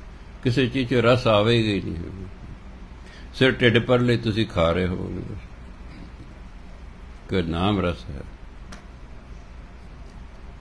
ਇੱਕ ਬੰਦਾ ਕਹਿੰਦਾ, ਇੱਕ ਵਾਰ ਲਿਖ ਮੈਂ ਉਹਦੀ ਕਿਤਾਬ ਪੜ੍ਹ ਰਿਹਾ ਸੀ। ਕਹਿੰਦਾ, ਸਿਮਰਨ ਕਰਦੇ ਕਰਦੇ ਮੇਰਾ ਉੱਪਰ ਜਿਹੜਾ ਗਲਾ ਦੇ ਉੱਪਰ ਰਸ ਉੱਥੋਂ ਕਹਿੰਦੇ, ਇੱਕ ਤੁਬਕਾ ਡਿੱਗਿਆ ਤਿੰਨ ਮਹੀਨੇ ਮੈਂ ਇੰਨੇ ਆਨੰਦ ਚ ਰਿਹਾ, ਕਹਿੰਦਾ ਮੈਂ ਸ਼ਬਦਾਂ ਚ ਵਰਣਨ ਨਹੀਂ ਕਰ ਸਕਦਾ ਹੈਗਾ। ਇੱਕੋ ਅੰਮ੍ਰਿਤ ਦਾ ਤੁਬਕਾ ਮੇਰੇ ਜੀਵ ਤੇ ਡਿੱਗਿਆ। ਸੋ ਜਿਹਨਾਂ ਨੂੰ ਨਾਮ ਰਸ ਆ ਗਿਆ ਨਾ, ਉਹਨਾਂ ਨੂੰ ਹੋਰ ਕੁਝ ਨਹੀਂ ਹੁੰਦਾ। ਉਹਨਾਂ ਨੂੰ ਕੋਈ ਹੋਰ ਰਸ ਪਿਆਰਾ ਹੀ ਨਹੀਂ ਲੱਗਦਾ ਹੈ ਤੇ ਸਾਡੇ ਤੇ ਚੀਜ਼ਾਂ ਵੇਖ ਕੇ ਮੂੰਹ 'ਚ ਪਾਣੀ ਜਾਂਦਾ। ਹਿਸ ਮਾਊਥ ਵਾਟਰਡ ਕੋਲੀ ਸਵੀਟਸ ਕੋਲ ਲੰਘੋ, ਸੁਗੰਧੀ ਆਈ ਹੈ। ਮੂੰਹ 'ਚ ਪਾਣੀ ਆ ਜਾਂਦਾ। ਕਦੇ ਕਿ ਜੀਭ ਗਿੱਲੀ ਹੋ ਜਾਂਦੀ ਜੇ ਰਸ ਅਨ ਰਸ ਵਿਸਰ ਜਾਹੀ, ਜਿਹਦਾ ਰਸ ਆਉਣ ਨਾਲ ਬਾਕੀ ਸਾਰੇ ਰਸ ਵਿਸਰ ਜਾਂਦੇ ਹਨ। ਉਹ ਤਾਂ ਹੀ ਹੋਏਗਾ ਜੇ ਅਸੀਂ ਲਗਾਤਾਰ ਨਾਮ ਜਪਦੇ ਰਹੀਏ ਜਪਦੇ ਰਹੀਏ, ਪਿਆਰ ਨਾਲ ਜਪਦੇ ਰਹੀਏ ਜਪਦੇ ਰਹੀਏ। ਕਿਉਂਕਿ ਪਹਿਲੇ ਰਸ ਨੂੰ ਖਤਮ ਕਰਕੇ ਦੂਜਾ ਰਸ ਲਿਆਉਣਾ ਹੈ, ਇਸ ਲਈ ਥੋੜੀ ਦੇਰ ਲੱਗਦੀ ਹੈ। ਇੱਕ ਬੰਦੇ ਇੱਕ ਬੰਦਾ ਪੀਂਦਾ ਨਹੀਂ, ਉਹਦੇ ਲਈ ਕੋਈ ਕਰਨਾ ਆਸਾਨ ਹੈ। ਇੱਕ ਬੰਦਾ ਪੀਂਦਾ, ਪਹਿਲਾਂ ਉਹਨੂੰ ਪੀਣਾ ਹੀ ਛੱਡਣੀ ਪਏਗੀ। ਫਿਰ ਪੀ ਪੀ ਕੇ ਜਿਹੜਾ ਸੰਸਕਾਰ ਬਣ ਗਿਆ, ਨਾਮ ਜਪ ਜਪ ਕੇ ਉਹ ਮਟਾਣਾ ਪਵੇਗਾ। ਪਹਿਲਾ ਸੰਸਕਾਰ ਮਿਟੇਗਾ, ਨਵਾਂ ਤਾਂ ਪਵੇਗਾ। ਇਹ ਸਾਨੂੰ ਜੀਵ ਨੂੰ ਹੋਰ ਰਸਾਂ ਦਾ ਸਵਾਦ ਪੈ ਗਿਆ ਹੈ। ਨਾਮ ਰਸ ਨੇ ਪਹਿਲਾਂ ਤੇ ਉਹ ਰਸ, ਉਹ ਸਵਾਦ ਖਤਮ ਕਰਨੇ ਨੇ ਫਿਰ ਆਪਣਾ ਸਵਾਦ ਸਾਡੇ ਜੀਵ ਨੂੰ ਦੇਣਾ ਹੈ। ਫਿਰ ਜਾ ਕੇ ਨਾਮ ਰਸ ਆਵੇਗਾ। ਫਿਰ ਬੰਦਾ ਨਾਮ ਜਪਦਾ ਰਹਿੰਦਾ। ਉਹਦੀ ਖੁਰਾਕ ਬਹੁਤ ਘਟ ਜਾਂਦੀ ਹੈ, ਨੀਂਦ ਘਟ ਜਾਂਦੀ ਹੈ, ਆਰਾਮ ਘਟ ਜਾਂਦਾ ਹੈ। ਕਿ ਉਹਦਾ ਜੀ ਨਹੀਂ ਕਰਦਾ ਸੌਣ ਨੂੰ। ਉਹ ਜੀ ਕਦੇ ਮੈਂ ਨਾਮ ਜਪੀ ਜਾਵਾਂ ਜਪੀ ਜਾਵਾਂ ਜਪੀ ਜਾਵਾਂ। ਜਿਸ ਚੀਜ਼ 'ਚ ਸਾਨੂੰ ਆਨੰਦ ਆਉਂਦਾ ਹੈ, ਕੁਦਰਤੀ ਗੱਲ ਅਸੀਂ ਕਹਿੰਦੇ ਕਰੀ ਚੱਲੀਏ ਕਰੀ ਚੱਲੀਏ ਕਰੀ ਚੱਲੀਏ। ਗੁਰੂ ਮਹਾਰਾਜ ਕਿਰਪਾ ਕਰਨ। ਹੁਣ 4 ਮਿੰਟ ਆਪਣੇ ਕੋਲ ਨੇ, ਆਪਣਾ ਸਿਮਰਨ ਕਰਨਾ। ਵਾਹਿਗੁਰੂ ਜੀ ਕਾ ਖਾਲਸਾ, ਵਾਹਿਗੁਰੂ ਜੀ ਕੀ ਫਤਿਹ।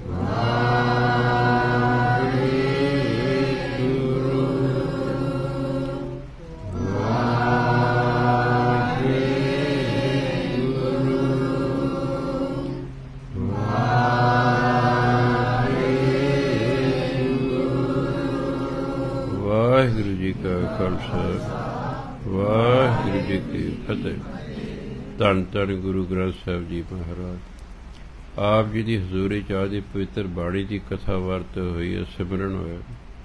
ਕੀਤੀ ਗਈ ਵਾਰਤਾ ਨੂੰ, ਕੀਤੇ ਗਏ ਸਿਮਰਨ ਨੂੰ ਸੱਚਖੰਡ ਵਿਖੇ ਪ੍ਰਵਾਨ ਕਰਕੇ ਸੰਗਤਾਂ ਦੇ ਮਿਹਰਾਂ ਪਰ ਰੱਖਣਾ ਖੁਸ਼ੀਆਂ, ਖੇੜੇ, ਚੜ੍ਹਦੀਆਂ ਕਲਾ ਬਖਸ਼ਣੀਆਂ ਦੁੱਖਾਂ, ਕਲੇਸ਼ਾਂ ਦਾ ਨਾਸ਼ ਕਰਨਾ ਨਾਮ ਬਾਣੀ ਦਾ ਪਿਆਰ ਬਖਸ਼ਣਾ ਆਪ ਜੀ ਦੀ ਅਪਾਰ ਕਿਰਪਾ ਦੁਆਰਾ ਹੁਣ ਤੱਕ ਦਾ ਸਮਾਂ ਸੁਖ ਸ਼ਾਂਤੀ ਨਾਲ ਬਤੀਤ ਹੋਇਆ ਦਾਰਈਆਂ ਸੰਗਤਾਂ ਦੀ ਬਾਕੀ ਰਹਿੰਦੀ ਰਾਤ ਸੁਖ ਸ਼ਾਂਤੀ ਨਾਲ ਬਤੀਤ ਕਰਾਉਣ ਦੀ ਕਿਰਪਾਲਤਾ ਕਰਨੀ। ਆਜ ਦਰ ਤੇ ਜੋ ਜੀ ਆਵੇ, ਸਰਾਜੀ ਜਾਵੇ, ਨਾਨਕ ਨਾਮ ਚੜ੍ਹਦੀ ਕਲਾ, ਤੇਰੇ ਬਾਣੇ ਸਰਬੱਤ ਦਾ ਭਲਾ। ਵਾਹਿਗੁਰੂ ਜੀ ਕਾ ਖਾਲਸਾ, ਵਾਹਿਗੁਰੂ ਜੀ ਕੀ ਫਤਿਹ।